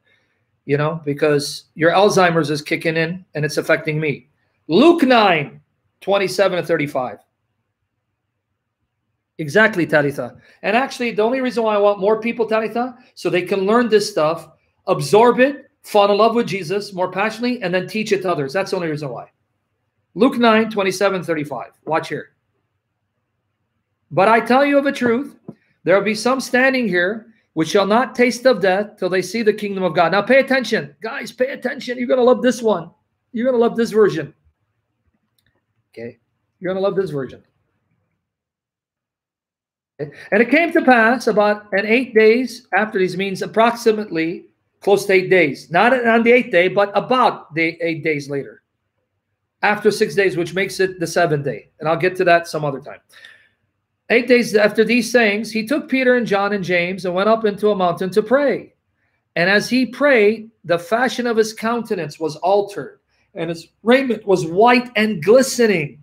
And behold, there talked with him two men, which were Moses and Eli- Elias. Now pay attention what they're talking to him about. Watch here. Watch here. Moses and Elias, who appeared in glory and spake of his decease, which he should accomplish at Jerusalem. Wait, wait, wait. We're going to come back to 31. Pay attention to 31. But Peter and they that were with him were heavily with sleep. And when they were awake, they saw his glory and the two men that stood with him. Now watch 33.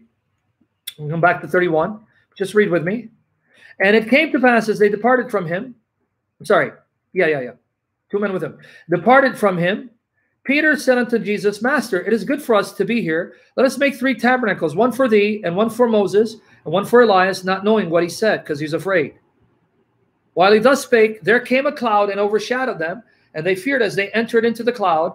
And there came a voice out of the cloud saying, This is my beloved Son, hear him. Now, folks, Luke 9 31. Luke 9 31. One more time. Watch here. He who, who appeared in glory and spake of his deceits, which he should accomplish at Jerusalem. Folks, do you want more proof that the Old Testament saints all knew that they were saved by the grace of Jesus and by his vicarious death? Because here you just read that Moses and Elias spoke to Jesus about his upcoming death in Jerusalem. How did they know? How did they know? How did Moses and Elijah know that Jesus was destined to go to Jerusalem to die because that would be his exodus into heaven? And if they knew that, are you telling me that Moses and Elijah did not know that they were saved because of Jesus and not because of any works of the law they did? You understand what I'm proving here? Yeah, I know the Holy Spirit revealed it to them, but you understand? Yeah, it's not, I'm not asking how they know. Obviously, God told them. The Father revealed it to them, the Son revealed it. But you understand the implication? Moses and Elijah are talking to Jesus about his exodus, that he's going to go to Jerusalem and be killed and enter glory, which means they knew that Jesus had come to die on the cross for the salvation of God's people before he entered glory. How did they know that? Well, we know because God revealed it to them. But wait, you understand the implication? If God had revealed it to them, the Messiah was coming to die before he enters his glory, and he's dying for the salvation of the world, specifically all who believe in him. That means Moses and Elijah knew that their salvation came from Christ, not from the works of the law. You with me there? Is it sinking in or no? Before I move on to the next point.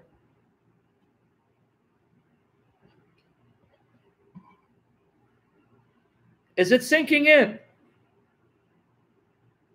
Before I move on to the next point. Moses and Elijah knew he is our Savior. It is by his grace, his mercy, his righteous life, his death, resurrection that we are saved, not the law.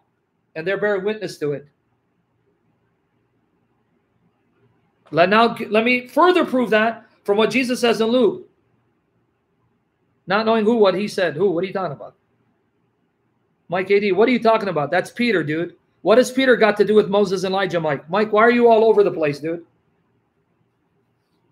Peter didn't know what he was talking about, just like you don't know what you're talking about because you're confused. don't be upset, Mike. Watch yourself. It means Peter did not know what he's talking about because he was frightened, he was shocked, and he was speaking gibberish. Okay, Mike? Suck MC, call me sire, Mike. Okay, Luke 24, 25 to 27. Luke 24, 25 to 27.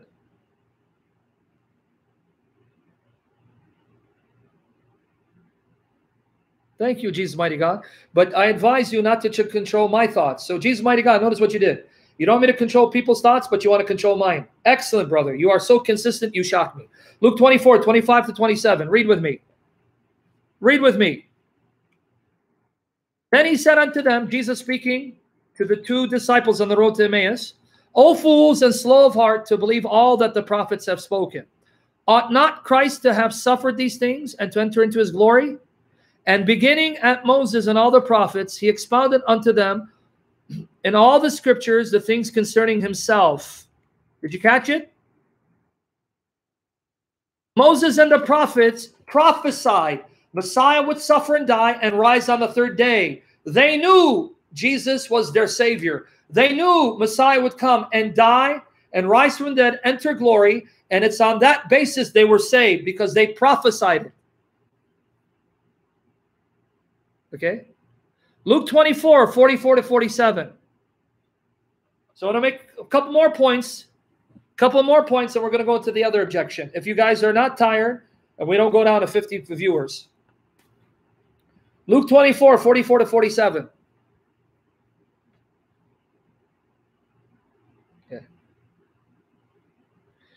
And he said unto them, These are the words which I spake unto you while I was yet with you, that all things must be fulfilled, which are written in the law of Moses, that's Moses, and in the prophets and in the Psalms concerning me. What was written about you, Lord?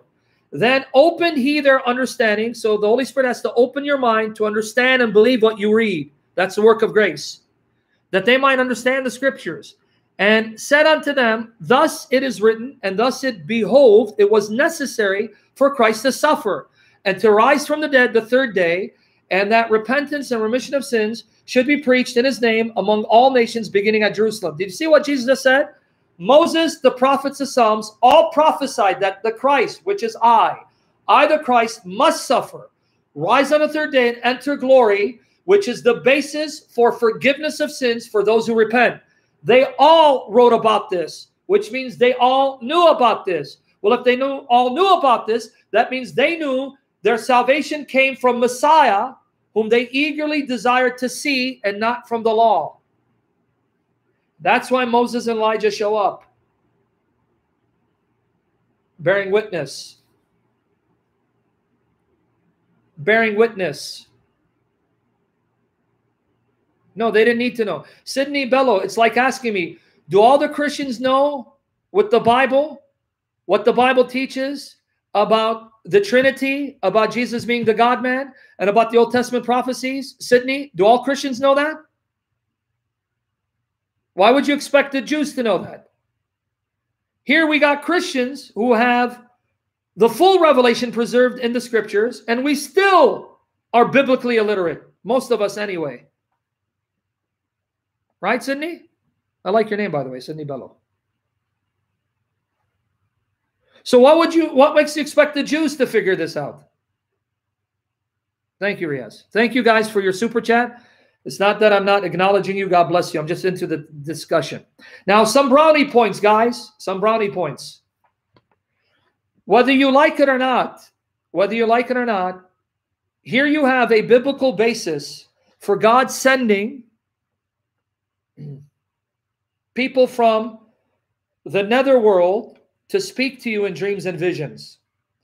God can send to you an angel or a prophet or an apostle or even a loved one to speak to you in a dream or vision because you just saw it on the Mount of Transfiguration.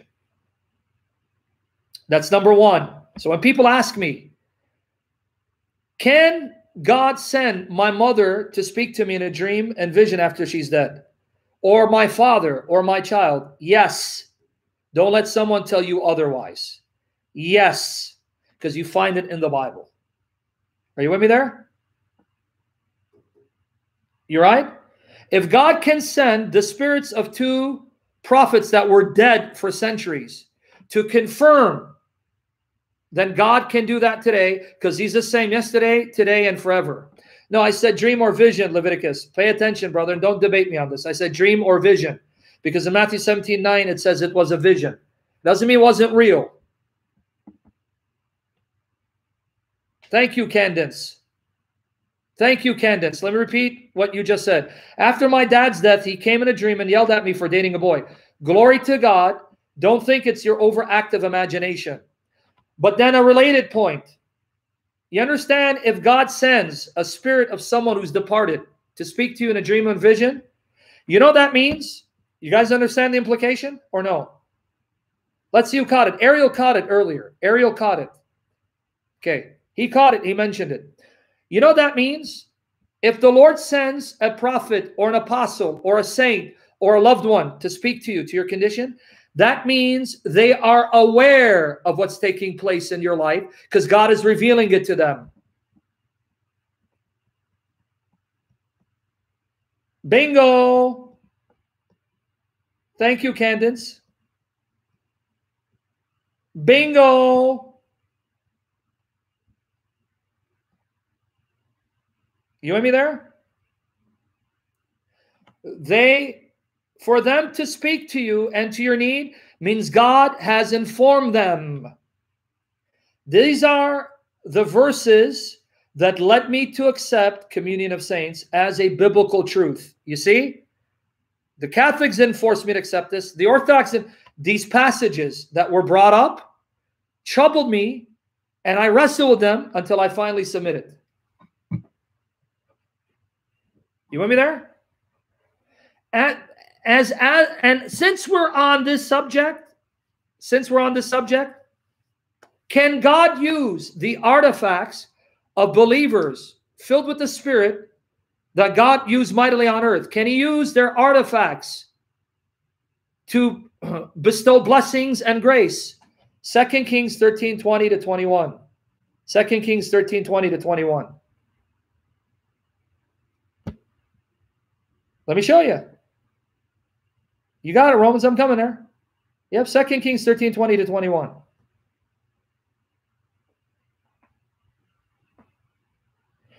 And Elisha died, and they buried him. And the bands of the Moabites invaded the land at the coming in of the year. Now, watch, guys. And it came to pass, as they were burying a man, that behold, they spied a band of men, and they cast the man into the sepulchre of Elisha. And when the man was let down and his body touched the bones of Elisha, he revived and stood up on his feet. Wow. God used the bones of his holy prophet who was filled with the Spirit and anointed, and his bones touched the dead body and brought it to life. What a make? Beauties. Acts 19, 11 to 12. You see why I changed my position? If it wasn't biblical, I wasn't going to change my position. Too much Bible verses showing I had to stop being stubborn. Acts 19, 11 and 12. And God wrought special miracles by the hands of Paul, so that from his body were brought unto the sick handkerchiefs, handkerchiefs from his body that he used, right? To wipe his sweat, whatever. Or aprons that he wore. And the diseases departed from them, and the evil spirits went out of them. What do you make? You're making beauties. So, is there a biblical basis? Is there a biblical basis for believing that God will use the artifacts of holy men and women filled with the Spirit used mightily to glorify Christ on earth? Yes. Okay. Let me show you another one. Acts 5. Acts 5. Verses 14 to 16, specifically verse 15. Acts 5, verses 14 to 16, specifically verse 15.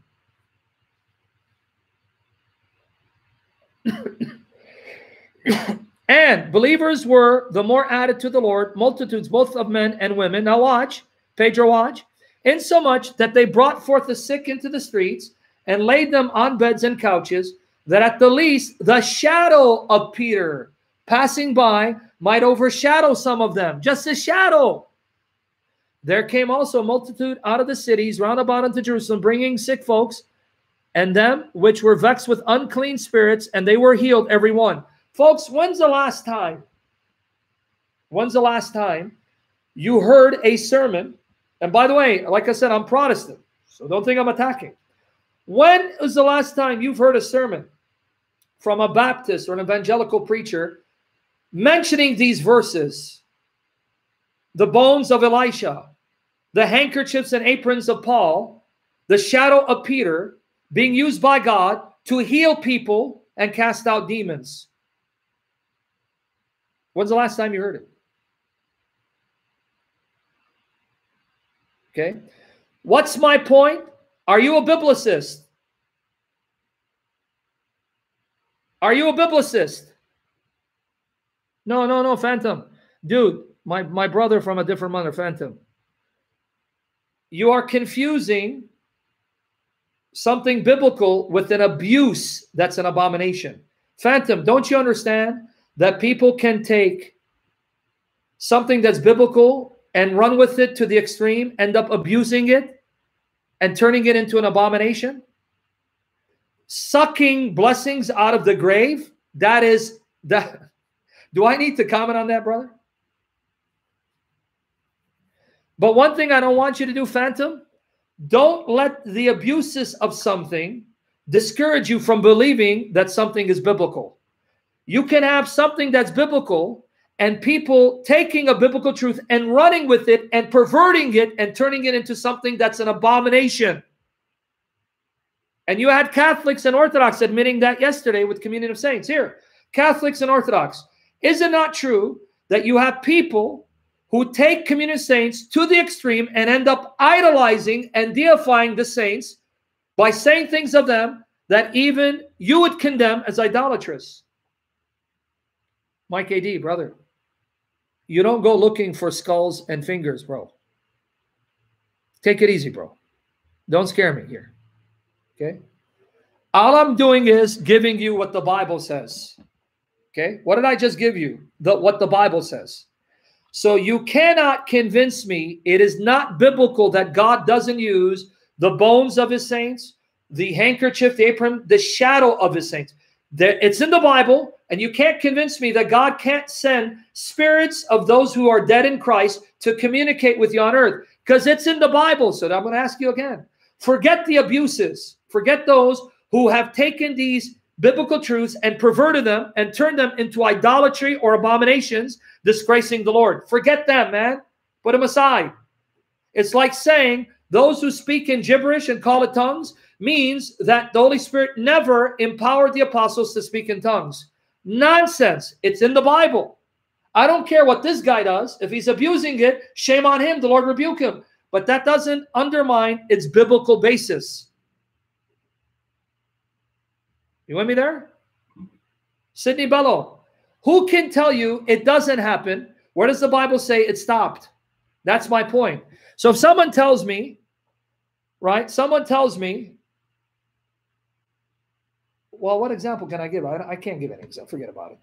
All I'm saying is you cannot tell me it's not biblical if you don't have a biblical basis for saying that God has stopped working through that manner.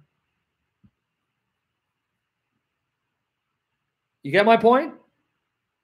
You can't tell me it stopped if the Bible doesn't say it stopped. So if someone tells me, for example, well, I, I can't, I, I, can't give you any examples because I don't know, forget about it. But you get the point. I'm just giving you a biblical basis. You with me there? Really? So even though we can document miracles were taking place in the second century and third century and fourth century, and even Lee Strobel just came up with case for miracles, documented medical miracles that even doctors say were miracles. That means those miracles didn't occur because the canon stopped. Was yeah, really Christ uh, the way? Exactly, my Pedro. That counts too. The woman with a bleeding disorder, Luke 8, Mark 5, touched the tassels of Jesus' robe and she got healed. Okay, so that's the point. Anyway, just to let you know, do you want to be biblical?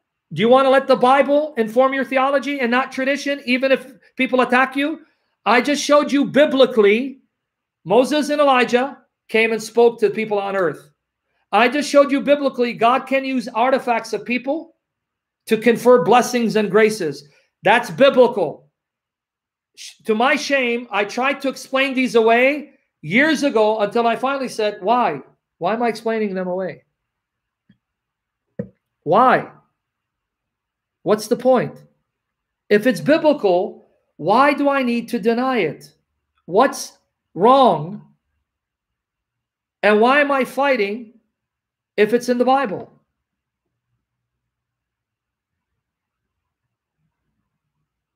Right? So hopefully I answered Matthew 16, 28. Did we get all that meat? Matthew 16, 28? Was that clear?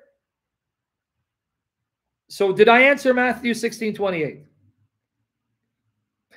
Now, I think I have to do a part two, God willing, because I'm not going to be able to finish both passages, Mark 13, 32 and Hebrews 1, 5. Okay. So which do you guys want me to address now? Let me explain what Mark 13, 32 and Hebrews 1, 5 happen to be. Okay. I will do part two, but I'm going to address one of the two last passages here. Mark 13, 32 is about Jesus not knowing the day or hour, something I've discussed over and over again. I have articles on it. Hebrews 1 5 has to do with the beginning of the Son. When was Jesus begotten? And if someone is begotten, does that mean he didn't exist before he was begotten? Yeah, but Luisa, who's talking about you, sister? So wait, Luisa, you mean when Elisha's bones revived the dead man, Elisha was dead. He wasn't doing ministry anymore. So what about that, Luisa? Let's forget about Elisha. So Lisa, let's go with your logic. Elisha was dead. In fact, his body decayed. It was only bones. He wasn't ministering on earth anymore. So how could his bones confer life to a dead body? Lisa, help me understand that logic.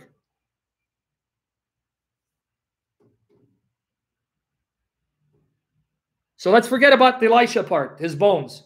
You know what it means that he was bones? His body had decayed. He had been dead for a while, right? Because it was only bones. How could the bones of a dead prophet who's no longer alive on earth doing ministry revive a dead body? Uh, Luisa, so do you want to answer that for me, sister? I'm just waiting. No, he wasn't begotten at the incarnation, Mike. Don't help me answer the question.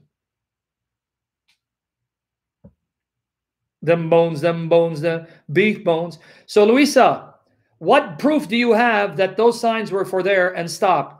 Since you believe in the Bible, quote a verse that says, once the Bible's complete, that's it, it's done with.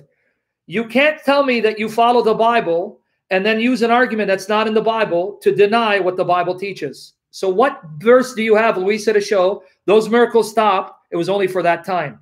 What is your biblical basis?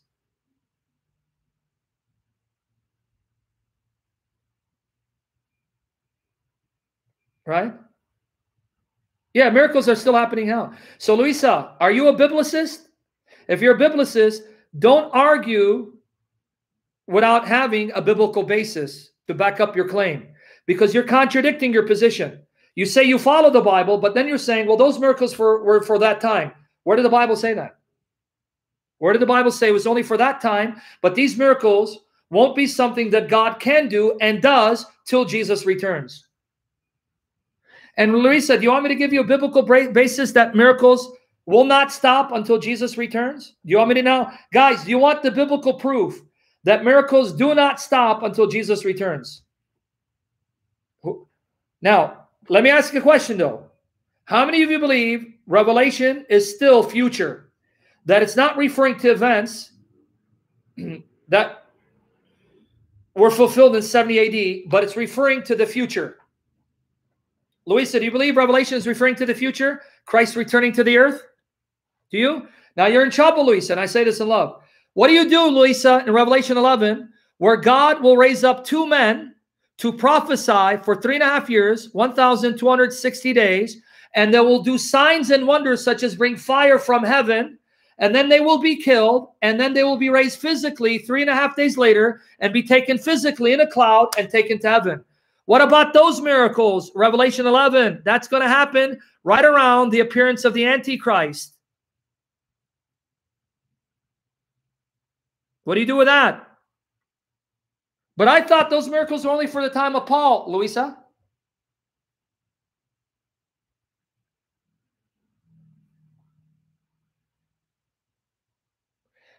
Jesus is king. I'm going to answer yes. What kind of question is this? Does Revelation contradict Matthew 24? Definitely contradicts it. So stop being a Christian. Why would you ask me that question, dude? What kind of questions do you ask? Okay, so Luisa, what biblical basis do you have miracles were only for the time of the apostles? When Revelation 11 says, if you believe it's future, two men will arise doing miracles such as bringing fire from heaven and prophesying for three and a half years, be killed and be raised physically three and a half days later and physically ascend into a cloud. And that's referring to the future, long after the apostles died, long after the canon was closed.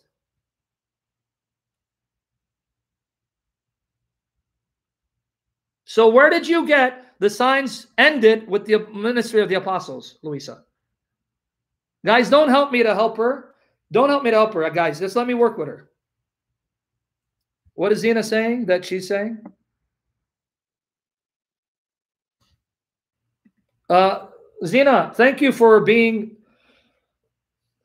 Luisa's attorney. Can you show me where it says those miracles are specific to apostles? So if you're not an apostle, you can't do those miracles.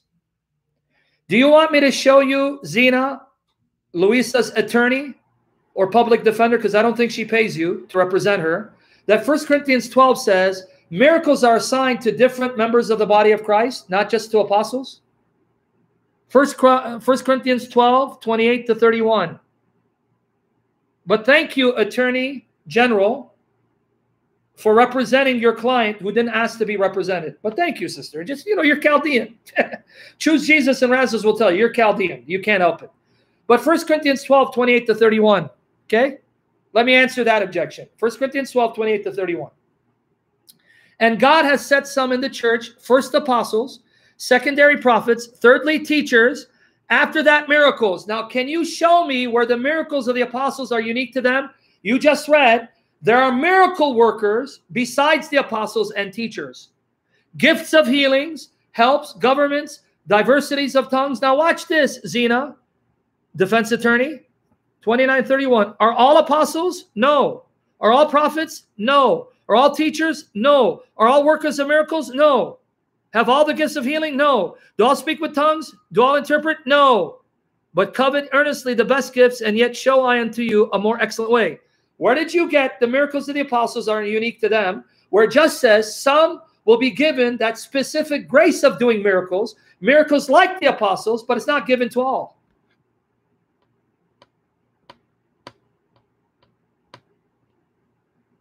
So, Lisa, can we stop arguing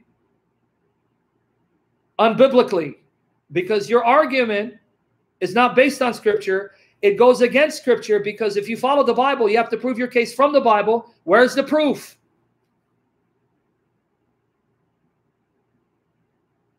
Exactly, Luisa, you are. In fact, Luisa, let me give you further proof. First of all, I gave you Revelation 11, right, Luisa? You believe those two who will prophesy? That's future, right? That's future, right? Just is that future? So then how can the cessationists be right if Revelation tells you right before Christ returns, there'll be miracles that we don't even have a record of the apostles doing? Do you have a record of an apostle bringing fire down from heaven? Elijah did in Second Kings chapter 1. Okay? So how can you be a cessationist if you believe Revelation is future? Secondly, let's go to 1 Corinthians 1 7 to 8. Chapter 1, verses 7 to 8.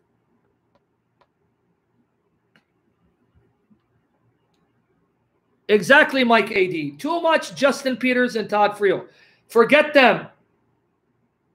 Okay? 1 Corinthians 1 7 to 8. Guys, read with me. 1 Corinthians 1 7 to 8. Read. Please read with me. So that ye come behind in no gift. I'm going to show you what the Greek word is in a minute you lack no gift, and these gifts are yours for how long? Waiting for the coming of our Lord Jesus Christ, who shall also confirm you unto the end, that ye may be blameless in the day of our Lord Jesus Christ. Did you catch it? You lack no gift until when? You have all the gifts you need, and the, these gifts are yours until when, folks? Until when?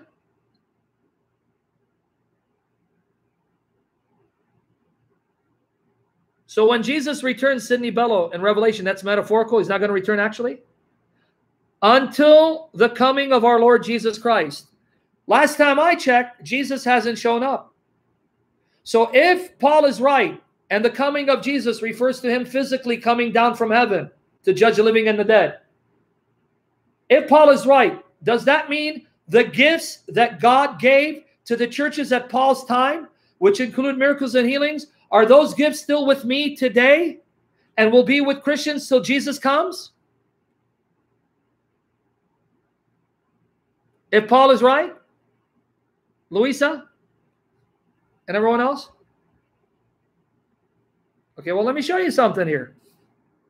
Wait, wait, let me show you what the word gift is. Last time I checked, Jesus hasn't come. And Paul says, You lack no gift until the coming of our Lord Jesus. You mean Paul? All the gifts in, in 1 Corinthians, the miracles and so forth. Those miracles, those gifts will be with us till Christ comes? Yep. Okay, Paul. But here, guys, don't take my word for it. Click here. You know what the word for gift is? Luis and everyone else? You know what the word for gift is? There it goes. Guys, there it goes. I gave you the link three times. Luisa, guess what the word is? Charismata, uh, charismati. That's where we get the word charismatic gifts. So Paul in Greek said, You lack no charismati, no charismatic gift until the Lord Jesus comes. But There it is. Don't take my word for it. Guys, I don't know what you're reading. Click on it and see. The word gift is charismati. That's where you get charismatic.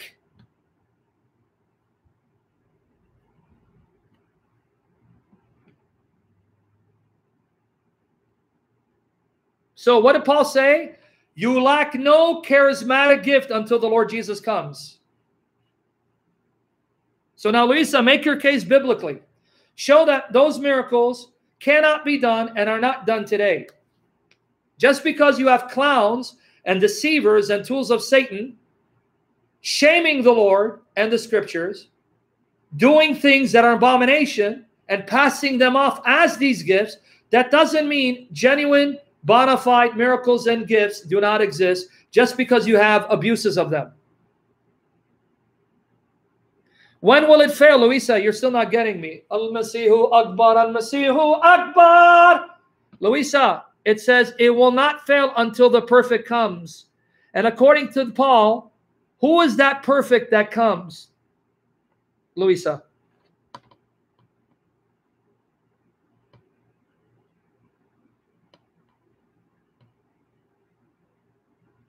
First Corinthians 13, 8 to 10.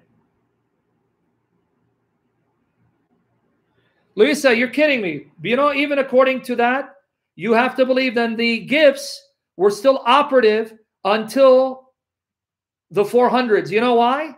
Because the canon was still being debated for centuries. So when exactly did the gift stop, Luisa? Let's go with that argument. The canon. When was the canon closed?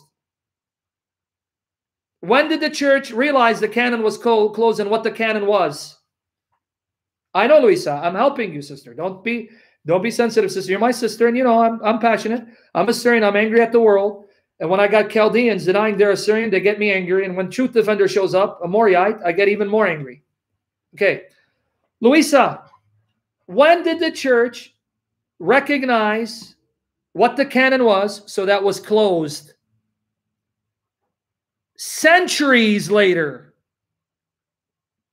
Centuries later. So even if I go with that argument, that means you must believe these miracles will still present for hundreds of years after Christ. But then, secondly, Luisa, here's the problem with that interpretation. First Corinthians 13, verses 8 to 10. Because I know Luisa from Paltalk. I'm starting to think, Kula uh, Vinen, you may be six years old, playing with dolls, and I'm scared that Muhammad's cousin will come and marry you. Okay, First Corinthians 13, 8 to 10. Okay, watch here. First Corinthians 13, 8 to 10. Okay, read with me, guys. So you're scared about uh, a Muhammad's cousin marrying you, Kulavinen? okay, Luisa, please read. We went off topic again. Oh boy. All right. First Corinthians 13, 8 to 10. Luisa, read. Charity, which is the Greek word for love, never faileth. But where there be prophecies, they shall fail. Whether there be tongues, they shall cease. Whether there be knowledge, it shall vanish away. For we know in part, we only know partly, and we prophesy in part. We don't know everything completely. But when that which is perfect is come, then that which is in part shall be done away with. So, Luisa, you think with the closing of the canon, now we know completely? Now we have perfect knowledge? Now let's read verses 11 to 12. Because when the perfect comes, we won't know in part anymore. We will know completely. Verses 11 to 12. First, First Corinthians 13, verse 11 and 12. Okay, Luisa, read. When I was a child, I spake as a child, even the truth defender is still a child. I understood as a child, I thought as a child, but when I became a man, I put away childish things. Now watch, verse 12. For now we see through a glass darkly, dimly, we don't see clearly. But then face to face, now I know in part, but then shall I know, even so also am I known. I will know as I'm known. Okay, Luisa. Paul says when the perfect comes, we will know completely and perfectly, not partly and dimly. Which Christian can you point to to show me he knows the Bible perfectly and completely, not dimly, not partially, now that the canon is closed? Show me. Which Christian now sees clearly, not dimly, and knows perfectly, not partially? But that's what will happen when the perfect comes. That's the context, Luis. I'm giving you the context. I'm not making up. When the perfect comes, we will see clearly, no more dimly.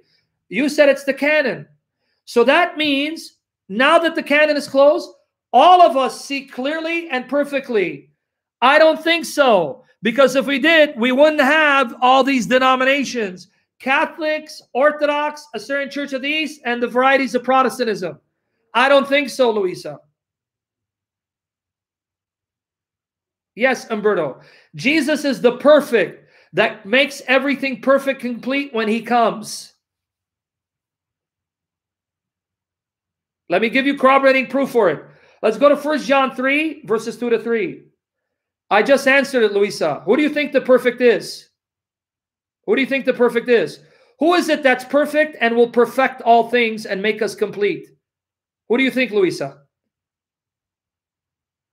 Exactly. You wouldn't need teachers. Yes, Jesus. And that goes back to 1 Corinthians 1 7 to 8, Luisa. You lack no gift until the coming of our Lord Jesus. See, you got it. When our Lord Jesus comes, that's when we will be perfect because he will complete us. He is the perfection that comes to make us perfect. Now it goes back to 1 Corinthians 1 7 to 8. You lack no gift until the coming of our Lord Jesus. Thank you, Luisa. You got it. First John 3, verses 2 to 3. 1 John 3, verses 2 to 3. Read with me. Beloved, Luisa, read this with me. Beloved, 1 John 3, 2 to 3. Now are we the sons of God, and it doth not yet appear what we shall be. We're sons of God, but we're destined to become something. We're destined to be changed into something. What are we destined to change into? But we know that when he shall appear, we shall be like him, for we shall see him as he is. See, now I see partly, but when he comes, I will see him as he is, and I'll be like him. That's theosis. And every man that hath this hope in him purifieth himself, even as he is pure. Did you catch it, Luisa? When he comes, I will see him as he is, and I will be like him. Theosis. I'll become morally incorruptible like him and physically indestructible and deathless like he is.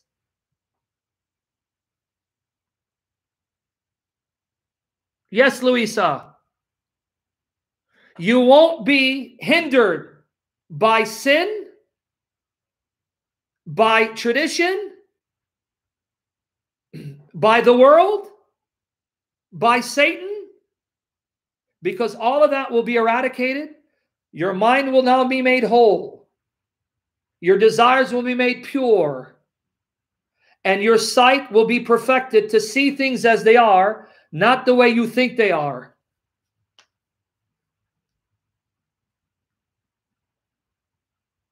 Look at this guy.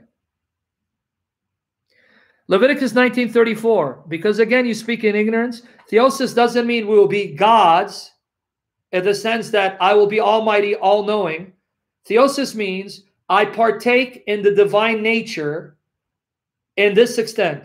God is morally incorruptible, I become morally incorruptible. God is deathless, I become deathless because of his grace.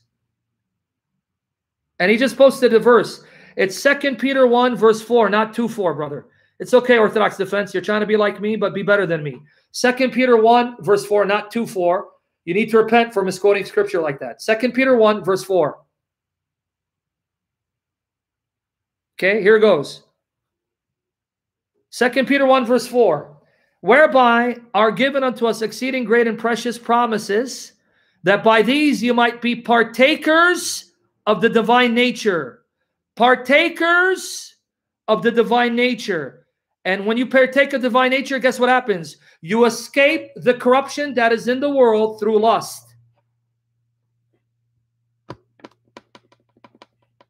Romans 8 29. Romans 8 29. Jade, I'm giving you the verses to confirm this tradition is anchored in scripture again. Romans 8 29. Heirs means you share in Christ's inheritance, Sydney. Whatever Christ owns, you share in it because he gives it to you out of his love and grace. If the earth is his, the earth is yours. Romans 8 29. For when he, for whom he did foreknow, watch, he also did predestinate to be conformed to the image of his son. Wow. You will conform to the image of Christ. You'll be like Christ, not in the sense that you'll be uncreated. You can't be uncreated. You're a creature. Not in the sense that you'll be all knowing. You can't. You're a creature, all powerful. But you will conform to the image of Christ in this way. You'll be morally incorruptible like him and deathless like him. 1 Corinthians 15, 45 to 49. Lord willing, I have to do part two tomorrow. I can't do Mark 13, 32, Hebrews 1, 5 tonight. We're done after this. 1 Corinthians 15, 45 to 49. Reign means to rule. R E IGN means to rule. Your reign means your rulership. You rule. And what happened to them, Kul Avanain? Man, you better change your name. I'm going to block you for that foolish name. Kul Avanain? What are you, Wolverine?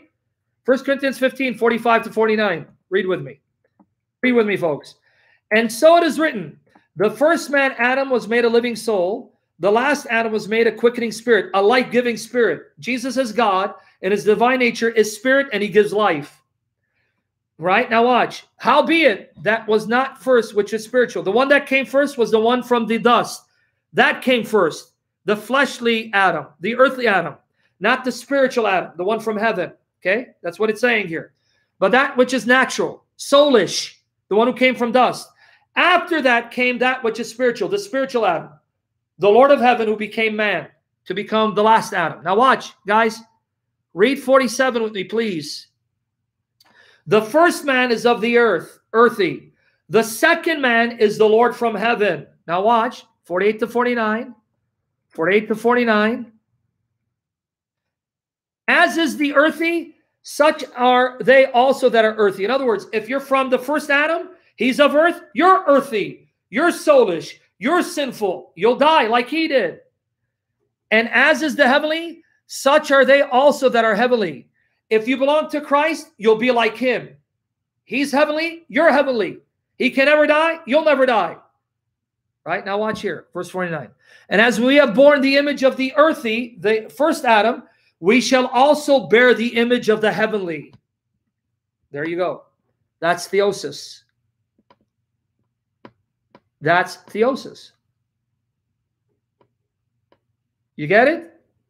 I'm going to be like Jesus in his glorified humanity, which is made immortal, incorruptible, deathless. And I'm going to be like God in that I'll be morally incorruptible. I will never be able to sin ever again because I'll be transformed. If Jesus can sin, so can I. God forbid, it's blasphemy to say Jesus can sin. Neither will you be able to sin because you will then be holy like the Father is holy. Exactly, Ariel. First Peter 1 15 to 16. Clear? Earthy means of the earth. Luisa, did you get the answers to your questions? Because you've been praying, right? You've been asking the Spirit to bring you to the right teachers to challenge you, to make you uncomfortable, to make you think out of your comfort zone.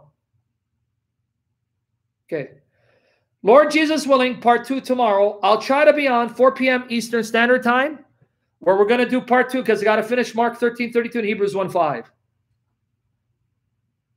No, Jesus is mighty God. Because angels were given the power to choose, like Adam. Do I have to explain that, Jesus, mighty God? Can, can you tell me where you live, Jesus, mighty God? Because I really want to visit you, because I really want to lay hands on you, to bless you. Heal! Heal! Bless you, okay? God willing, Lord Jesus willing, tomorrow, 4 p.m. Eastern Standard Time. But folks, realize we are in a spiritual battle. Folks, if you understand the satanic onslaught on me, why?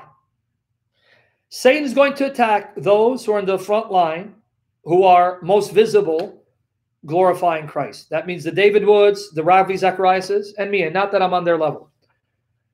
He'll either attack me because I haven't seen my daughter since June, and when they call me, my heart breaks and I'm dying because they want to see me, they want to hold me, they want to kiss me, and they want to be with me every day. And until Jesus does a miracle, there's nothing I can do. Or he'll attack me by knowing what triggers me and having people who claim to be Christian challenging me or accusing me of being a heretic for the positions I take. And what that does, it either gets me angry and I sin in my anger, or I get depressed. When I get depressed, then my flesh kicks in and I struggle with sinful desires. I need your prayers. My daughters need your prayers. And please fast for us too that Jesus will crucify my flesh to overcome it, not allow the devil to cause me to get angry or depressed, and to show me that he will keep my daughters safe, provide for them as he provides for me, to do this work till I die, and that he'll bring them to me so I can hug them again, kiss them again, pray with them, and put them to sleep. I miss them, and they miss me. Please pray. If you believe God has called me to ministry, pray the Lord will do a miracle because, folks, I'm human. I'm a sinner. I have sinful tendencies. And I pray this if God wants me to remain celibate, to crucify my sinful passions so I won't burn. But if God wants me to marry, to show me that godly woman that's filled with the Spirit that will be my partner to serve the Lord, work with me, not against me, to serve the Lord till we die. And if that's what He wants, to reveal her sooner than later. If not, give me the grace to be celibate. I'm okay with it. But pray because it is a battle. If you guys are doing the work of the Lord, I promise you, you will be attacked.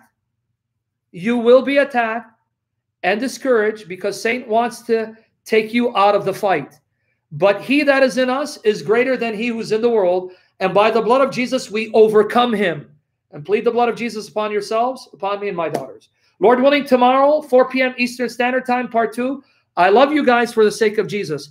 And my my Nubian prin- princess, what's up, Magdalene? My Nubian princess, Irie Irie, come back to Jamaica. What's old is what's new. All right, anyway, God bless you. Take care. Christ is risen, risen indeed.